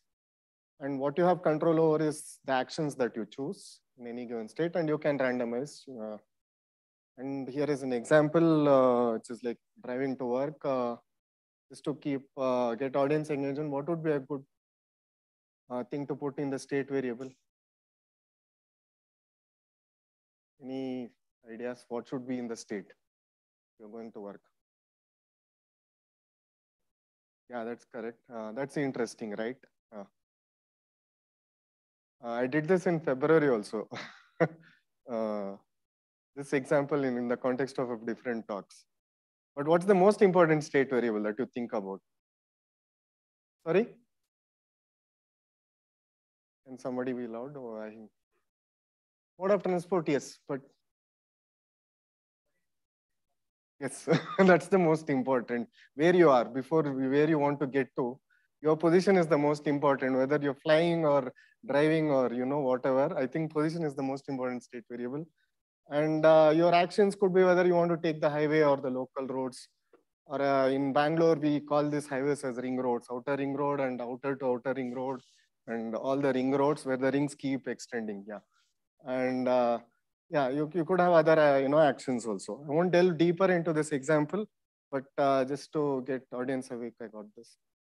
So the important uh, performance metric is value function, which is a sum. I'll stick to rewards henceforth. So you keep summing these rewards, add a discount, and look at it in the infinite horizon. And the important control that you have is over actions, and I choose actions, so pi is my policy. This can be deterministic, which is like saying that given a state, I will always choose a particular action, or it could be a distribution over actions. In either case, you want to you know, optimize this expected value. And uh, for a given policy, I mean, uh, a bigger problem in RL is the problem of control where you want to find the best policy which has the best value function. In this talk, we're not going to focus on that. In this talk, we're going to fix the policy and try to estimate this. That's the goal of this talk. And uh, an important tool for the algorithm that will be presented next is that this fixed point equation. So this V pi is the one and only fixed point of this operator.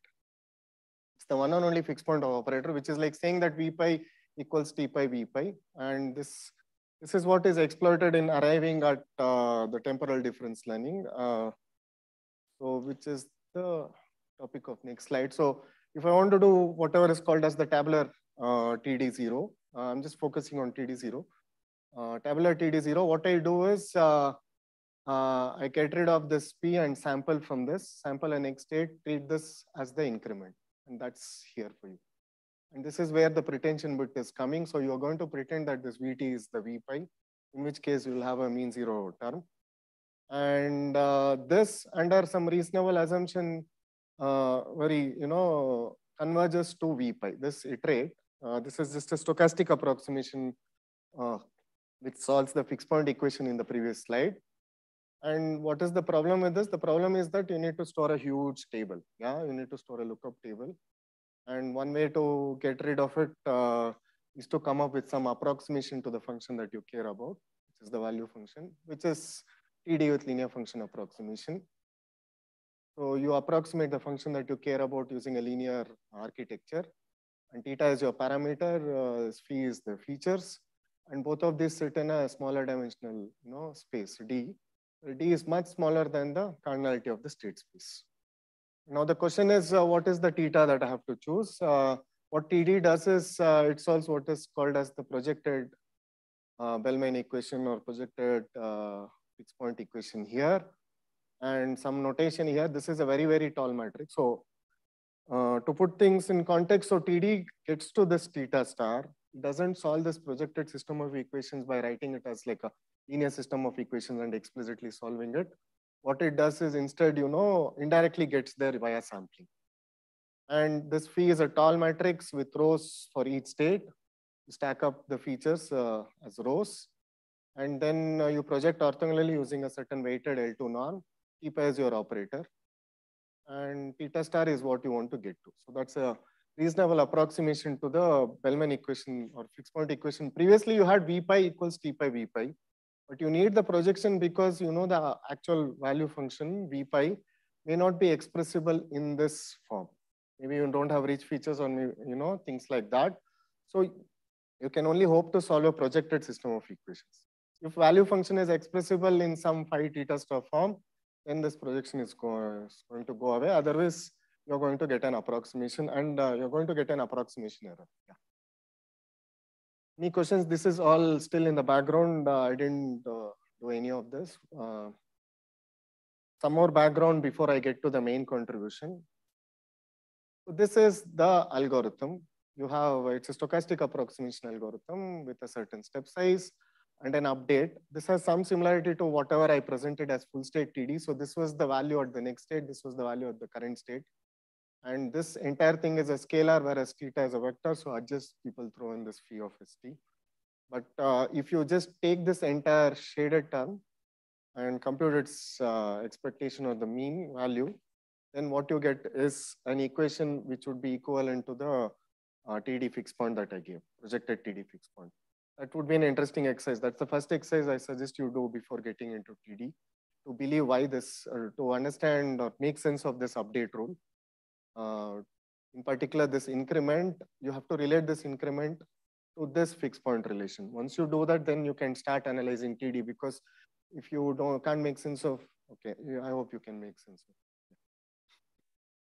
Okay, so under some assumptions, so the question now is, does this TD update, uh, this iterate converge to theta star?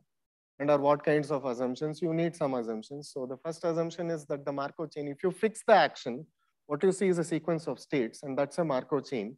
And that Markov chain, we assume, has a stationary distribution. And this is simple. Yeah, any questions? Okay, so this is, uh, you know, if you have a finite uh, state action MDP, then this is equivalent to assuming irreducibility. Yeah, every state is accessible from every other state. So this assumption is common. The second assumption is that, you know, the features are uh, good enough in the sense that you have uh, the feature matrix, the tall matrix as full column rank. You don't have redundancy in the feature matrix. The columns are not depend linearly dependent. So once you have that, an important quantity comes into picture, which is the minimum eigenvalue of this matrix, and that will be greater than zero. Is xi is the is a diagonal matrix where you put all the stationary distribution entries, and you look at the lambda mean of this, and that will be strictly greater than zero if you assume full column rank. All right.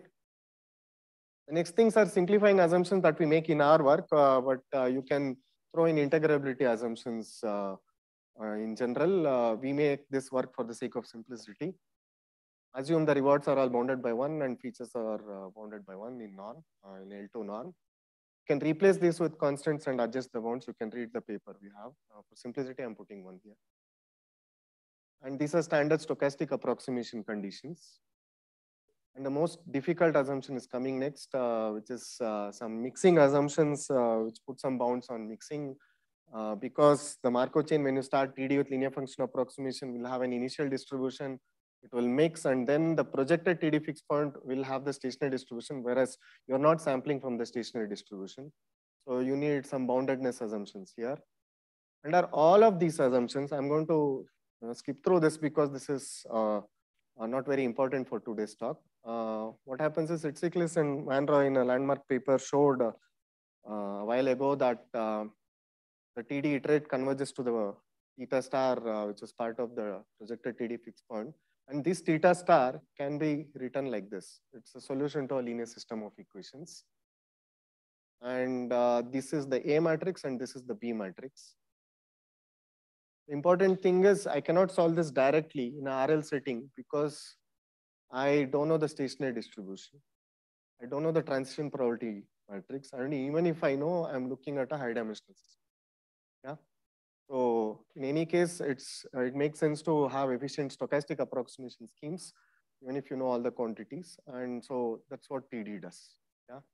It can be cast into the general linear stochastic approximation, uh, you know, algorithm, and uh, you can understand it from that context. So all this is history. Any questions? Okay, so uh, some more quotes just to wake you up. Uh, so what happens asymptotically, something good happens, but uh, we have to figure out what happens when I implement TD algorithm. If I run it for 100 steps, is it good? Run it for 1000, what step sizes to use? Things like that. And so what happens in the short run of TD0? And a high level summary. So stay with me at least for the summary. In case you have forgotten, TD fixed point is this, which is the same as this A theta star equals B. These two are equivalent. And this is the algorithm that I'm looking at. And I want bounds like this. These are the non-asymptotic bounds I care about. I'm looking at a bound in expectation, and I'm looking also at a high confidence result. I want these bounds. So for this, uh, under the assumptions that Tsitsiklis and Van Roy made, can I specify the step sizes and maybe other parameters of the algorithm if I throw them in and get rates like this? That's really the question that we are looking at. Is the premise clear? I think it will be forgotten. The bounds will have it.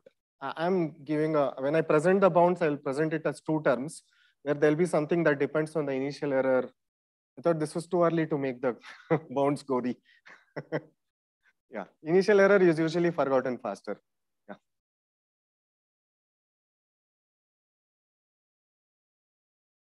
Sorry, what?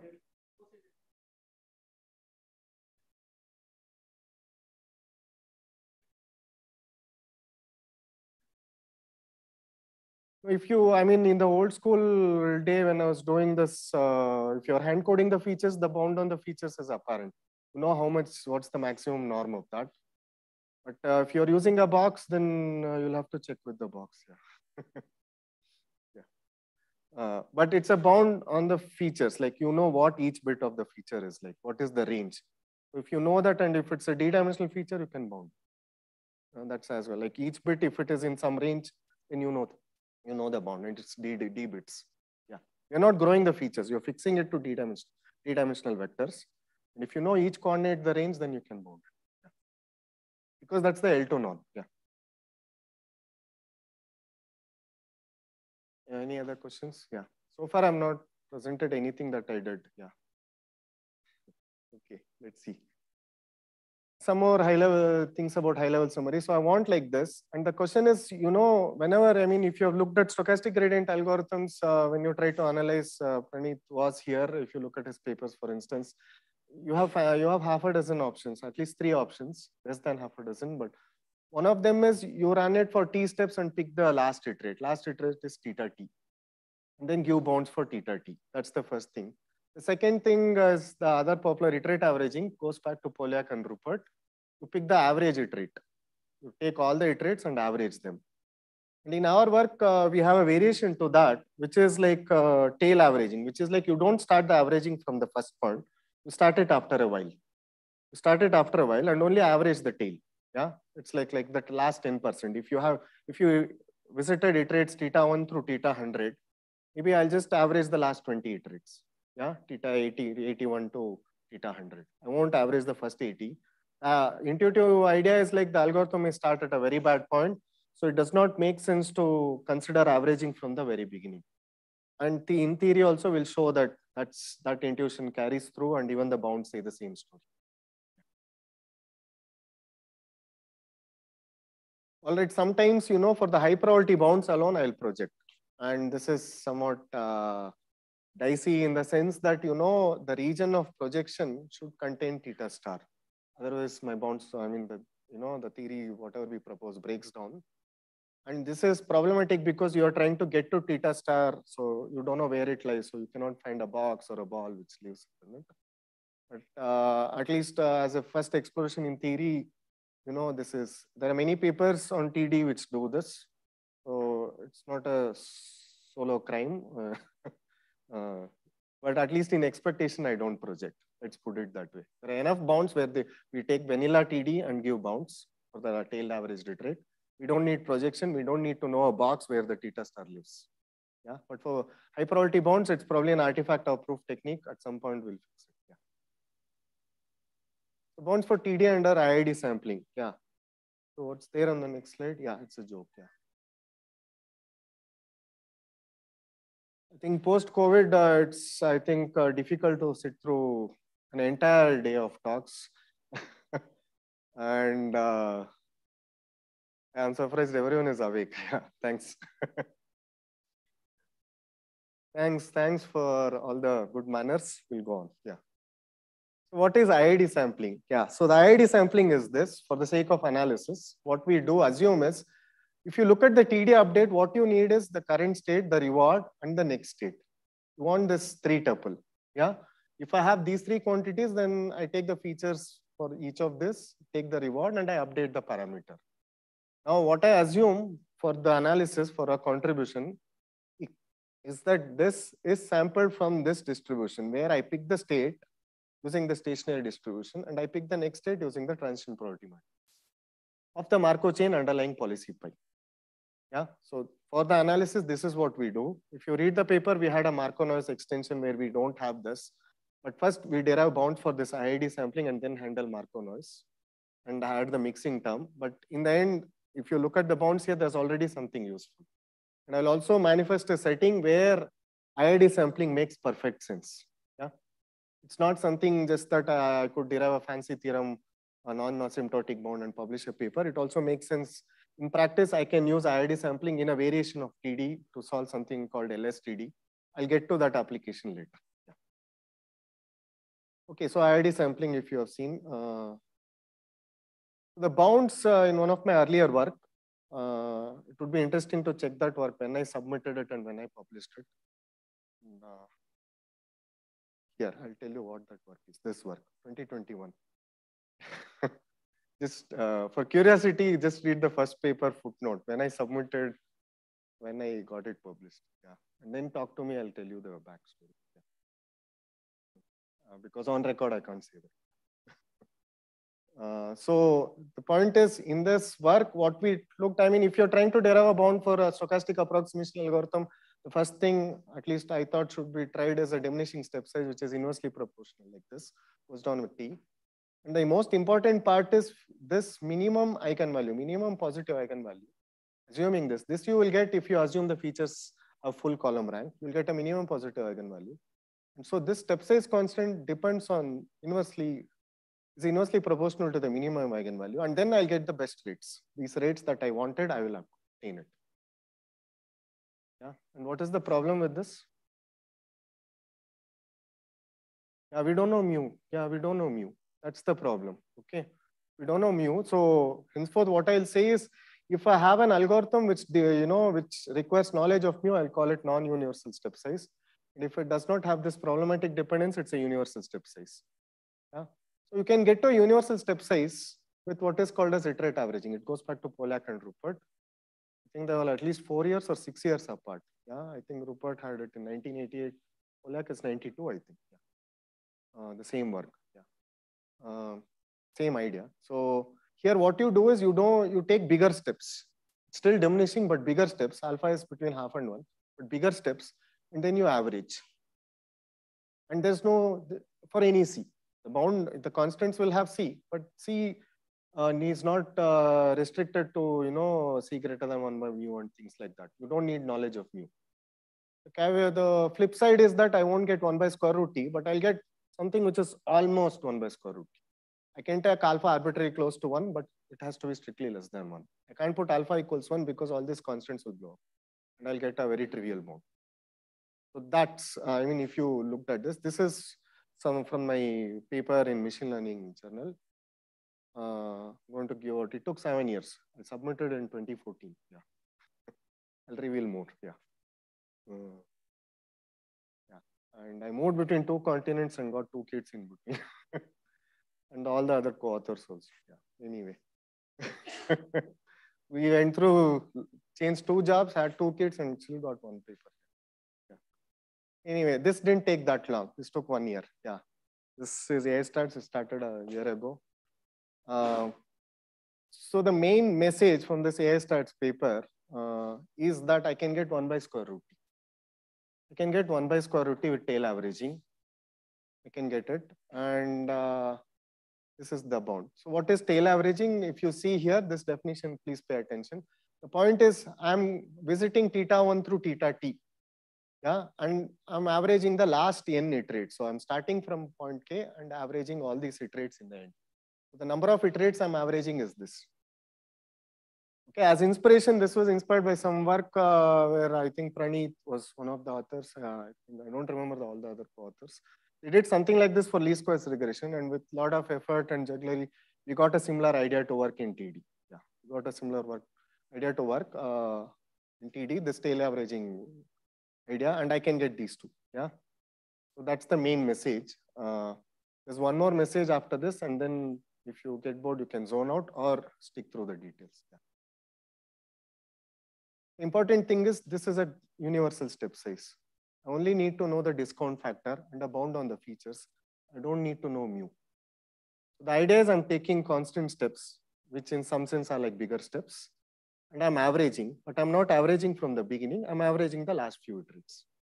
So that's really the idea. And then some algebraic uh, tricks got us to this bound.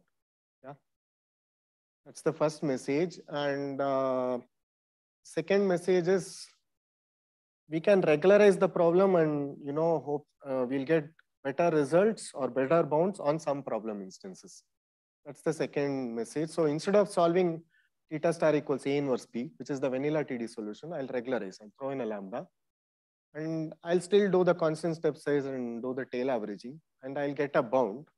And this bound has constants which scale better with the underlying eigenvalues for the regularized case, at least on a few MDPs. Yeah, we, manu we manufactured one such example in the paper.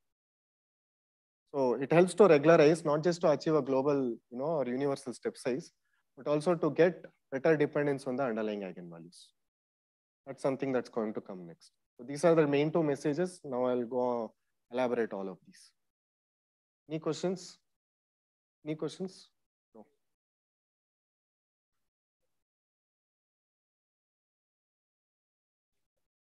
Yeah, that's correct.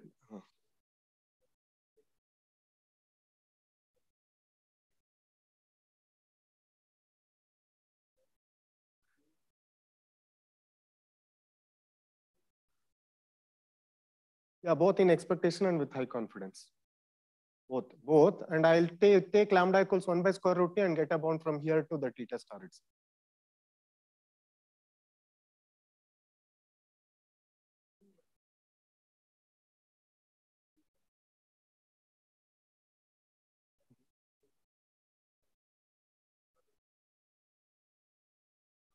No, here the goal is just getting 1 by square root t rate.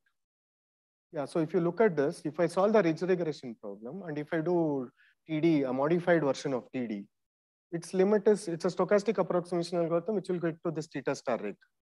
And this theta star reg is order of lambda away. If I want order of 1 by square root t rate overall, I'll just put lambda equals 1 by square root t. I have a global, I have a universal step size.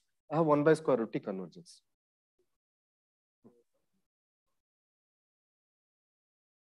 The point is, okay, the first, so the point is, if you look at the dependence, if you do full iterate averaging, uh, you, I'll come to the bounds later, then the initial error is something like theta naught, wherever I start, minus theta star. That's, that's the initial error. It depends on where I started. That will be forgotten at a certain rate, 1 by n, 1 by n square or e exponential. Here, with tail averaging, we're able to forget it exponentially fast compared to full averaging because you may start at a very bad point. So it makes sense to average after a while.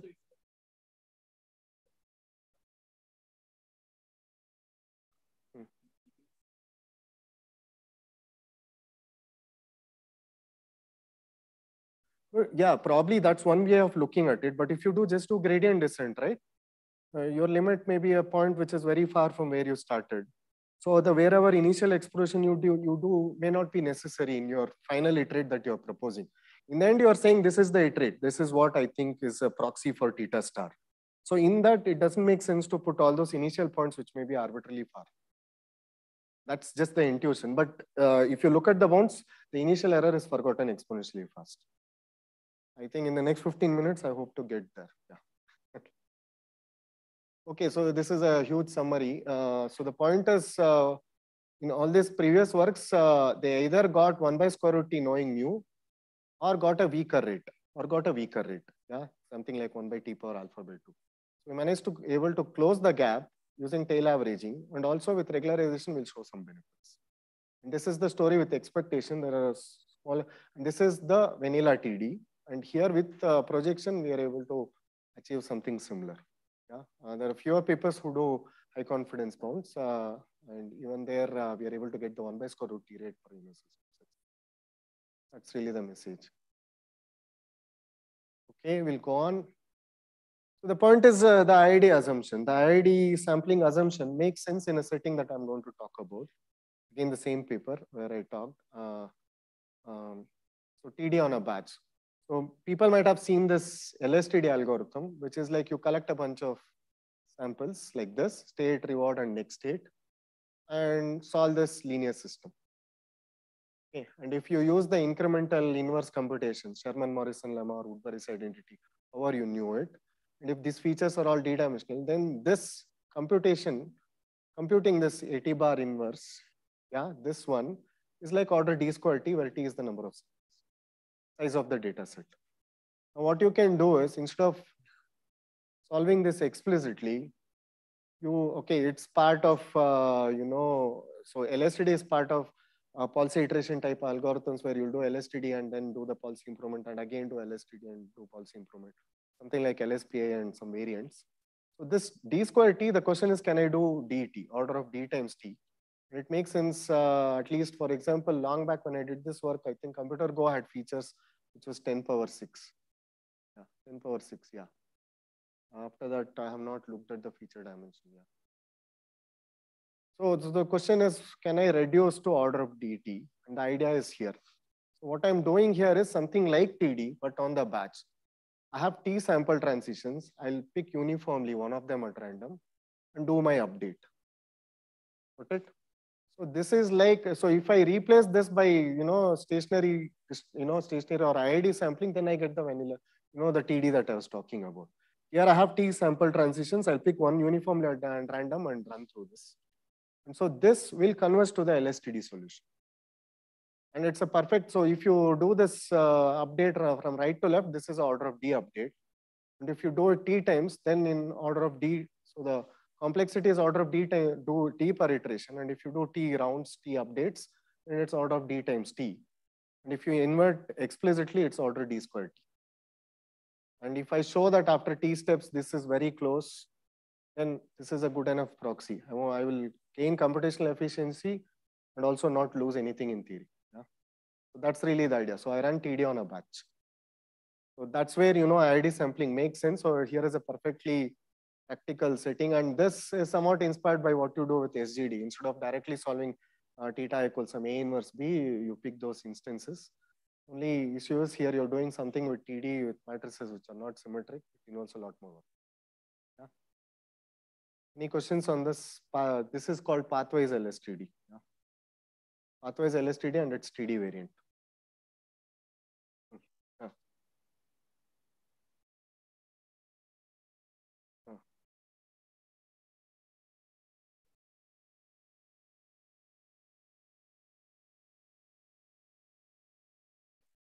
Yeah, that's correct. So that's entirely orthogonal to this one. That's my answer.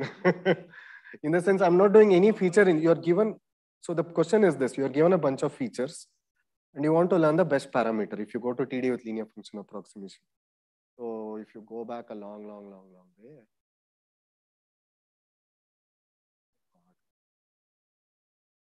Yeah, so, so I'm going to fix the features. After that, it's entirely interesting to figure what is the best theta. And given and uh, that best theta turns out to be, I mean, uh, that reasonable theta turns out to be this. And now I have to get to this theta star without too much computation. That's like the basis of TD with linear function approximation.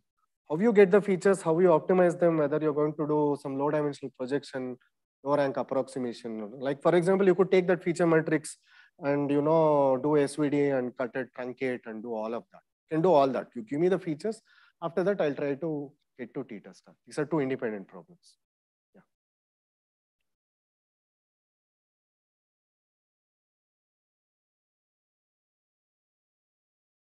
Okay, where was I? I did the batch. So for this, I mean, for this TD on a batch, under bounded features, bounded rewards, and this minimum eigenvalue assumption, we get these bounds where I require this mu. With knowledge of mu, which is like C greater than 1 by mu, I get 1 by square root T rate. And then if I do iterate averaging, I'll get uh, a weaker rate. Yeah, I'm going to skip that. But the point is, the question remains, can I get 1 by square root T without knowing mu? And that gap is closed by TD, tail average. That's the gap. That's the gap we closed. We didn't change the algorithm. It's the same TD algorithm. We added tail averaging instead of full averaging or the last iterate, and we are able to get the most. Yeah, in between something. But when I was coming to Bangalore, my daughter asked me, where are you going? Why are you going? And things like that. Yeah. anyway, so in case you have forgotten, this is IID sampling. So I have a bunch of, uh, you know, I have tuples like this, state, reward, and next state, where the actions are chosen according to a policy which is fixed. You have the stationary distribution and the speed. So the point is you're given a bunch of samples like this, and you're going to use that to update TD. You can look at the paper for the Markov noise extension, but uh, uh, the question of whether I need to know mu, whether I can get the algorithm, are entirely interesting even in the IID setting. The Markov noise is something like a technical, I would say it's like a technical extension. The idea about getting rid of mu is more important. Getting rid of mu dependence. Okay, some more summary, which is, you know, this is the TD algorithm. This is the fixed point I want to get to. And the step size that I chose is like this. And this is the tail averaging. The important thing is like I'm averaging last n iterates. I'm averaging the last n iterates starting from point K. Okay. Yeah. And assumptions as before, features bounded, rewards bounded. The feature matrix has full column rank and the Markov chain is irreducible. We, for simplicity, I am assuming it is finite state actions. You can extend it to more countable state spaces easily. There are two eigenvalues that come into picture. I want you to remember, but I'll try to recall it many more times. So if feature matrix phi has full column rank, this matrix A plus A transpose, A is not symmetric. If you look at uh, the TD fixed point, it's like A theta star equals B. A is not a symmetric matrix. The A plus A transpose will have a minimum positive eigenvalue if feature matrix phi has full column rank. And also this matrix, this matrix will have another minimum positive value. I'll call it mu and mu prime. And we'll look at this mu and mu prime uh, in the bounds at some point.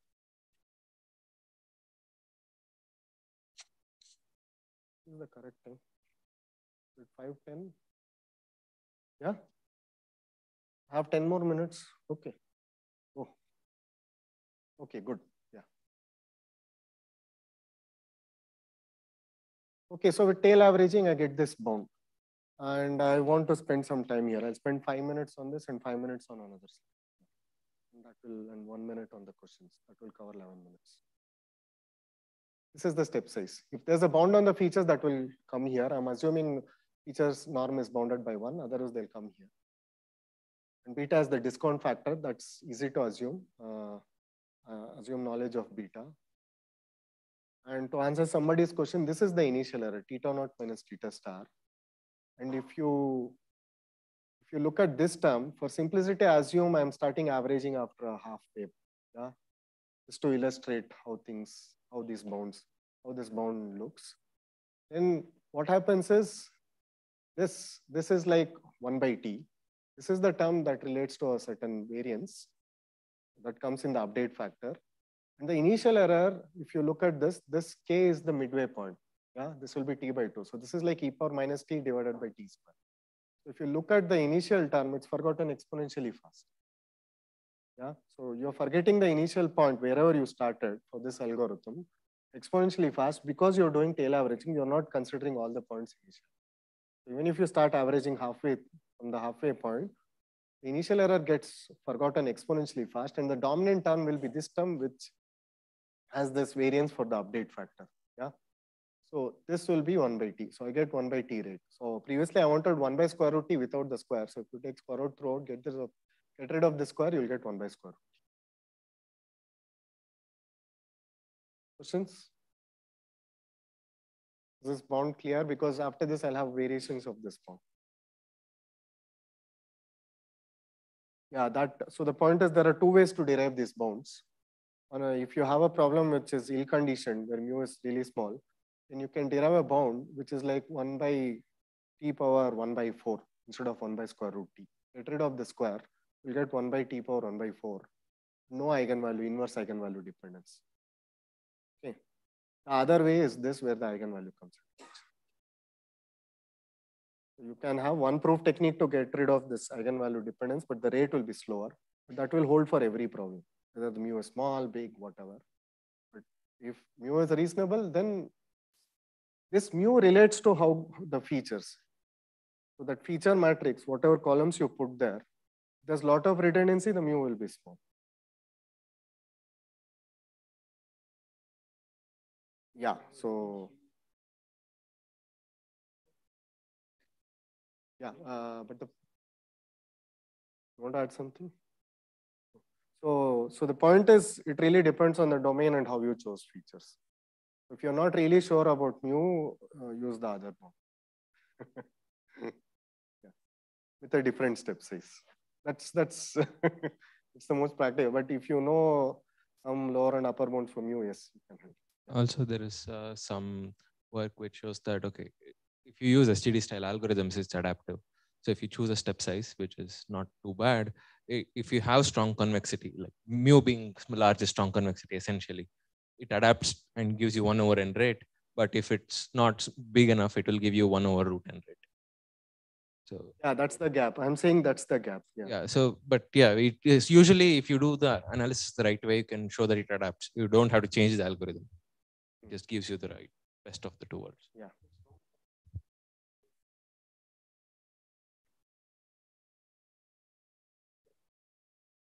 No, this whatever analysis can be loosely correlated with doing SGD with strong convexity, very loosely. Yeah. yeah.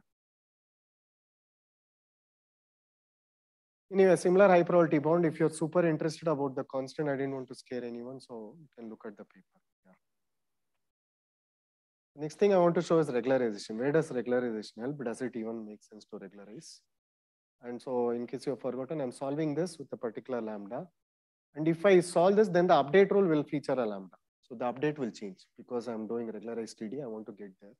This algorithm will get to theta star, but the question is whether the distance from this iterate to the theta star, which is vanilla TD's theta star, without uh, regularization, will it be of the order 1 by square root t? If it is of the order 1 by square root t, why should I use regularization? These are the two questions to handle in the next six minutes. And here again, we choose a universal step size. We have not lost the universal step size with regularization. For any given lambda, this is the step size. And for that, we get a bound like this. If you look at this bound, again, I'll get the 1 by t overall bound. Get the 1 by t overall bound. But the important thing to focus on is this scales inversely with mu square, 1 by mu square. Whereas the previous one was 1 by 1 minus beta times mu prime square. Okay, so that's the difference. So the scaling is with different eigenvalues. One is of the A matrix, if you remember, A plus A transpose, which goes into the TD fixed point. The other is of the feature matrix, phi transpose phi. So the question is, which is better? So I'll put these two bounds side by side.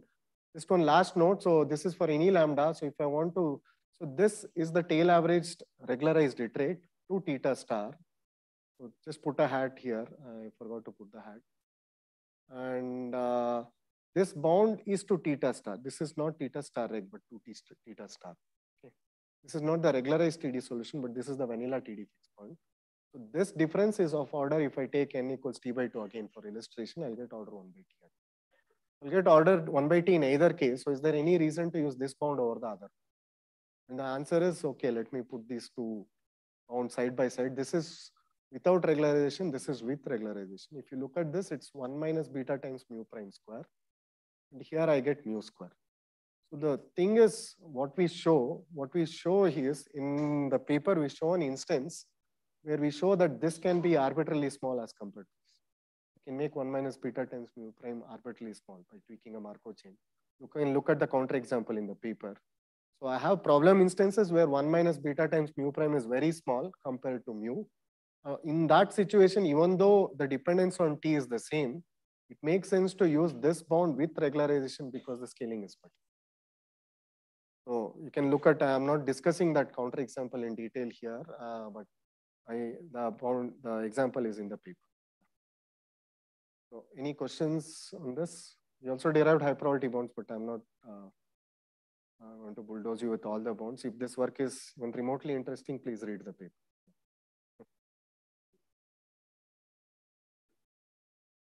No, this is without regularization. These are different iterates. So if you want, you can put, start at the same point. Yeah. The point is this inverse scaling. There's a factor that will dominate. If mu, you know, if one minus beta times mu prime is very small, then this factor will dominate. Yeah. Whereas here we are saying that uh, we have a we have problem instances where one minus beta times mu prime is much smaller than mu. So with regularization, I can get a better bound even on problem instances where 1 minus beta times mu prime is very small. Because on such things, mu, mu need not be small. We manufactured such a problem instance to give the motivation for regularization. Yeah. Any questions?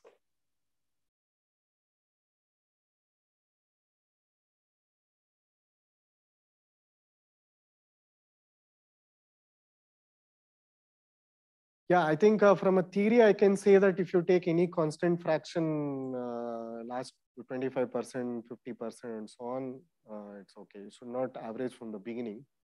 But empirically, I don't know. We didn't do any experiments in this paper.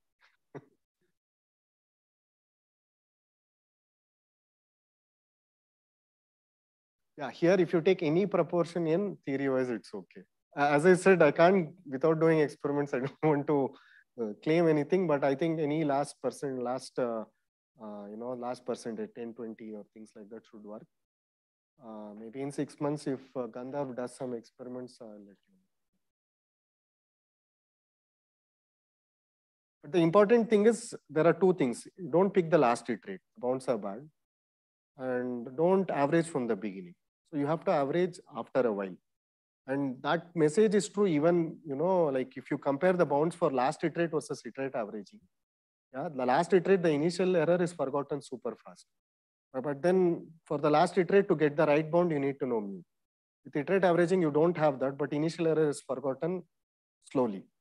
So with tail averaging, get the best, best of both worlds. You'll forget the initial error fast, and you don't need to know mu. You get best of both worlds, but when to start averaging empirically, uh, I don't have an answer.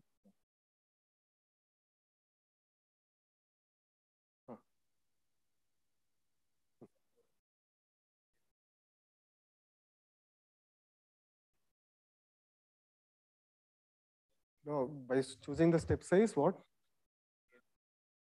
Uh, that's for non-smooth problems. This is like smooth. No, but here you need to, I'm saying you need to know mu. It's like strongly convex problems. It's like strong convexity, I would say. Yeah. So, yeah, I'll have to discuss offline. Yeah. In the interest of time. I'm done. I'll end with a joke. I usually don't like to conclude my talk. I mean, I like to conclude without conclusions. Uh, but I realize that some reviewers don't like it when I submit it to ICML NeurIPS without conclusions. Reviewers were uh, unhappy. I took the abstract and made past tense out of it. but yeah, uh, if you like to read more, read these two papers. Thanks.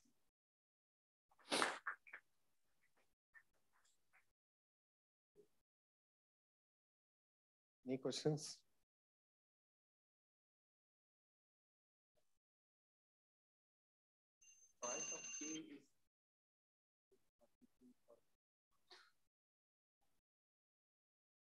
Lambda is 1 by square root t. So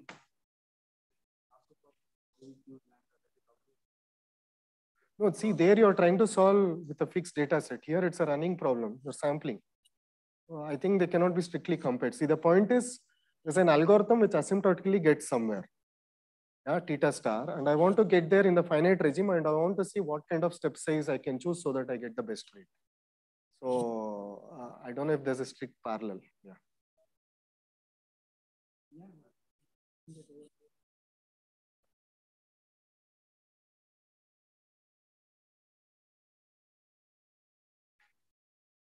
Yeah, let me put it this way. For any stochastic approximation algorithm, you can't get better than 1 by square root t. so I have an algorithm which gets you 1 by square root t.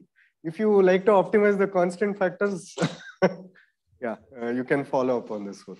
Yeah. I don't have lower bounds to say these are the constant factors, but maybe something from Gary Vee will inspire you to do a lower bound and get it right. Yeah.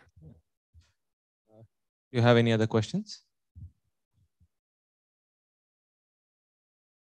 Okay, let's uh, thank our speaker again. So.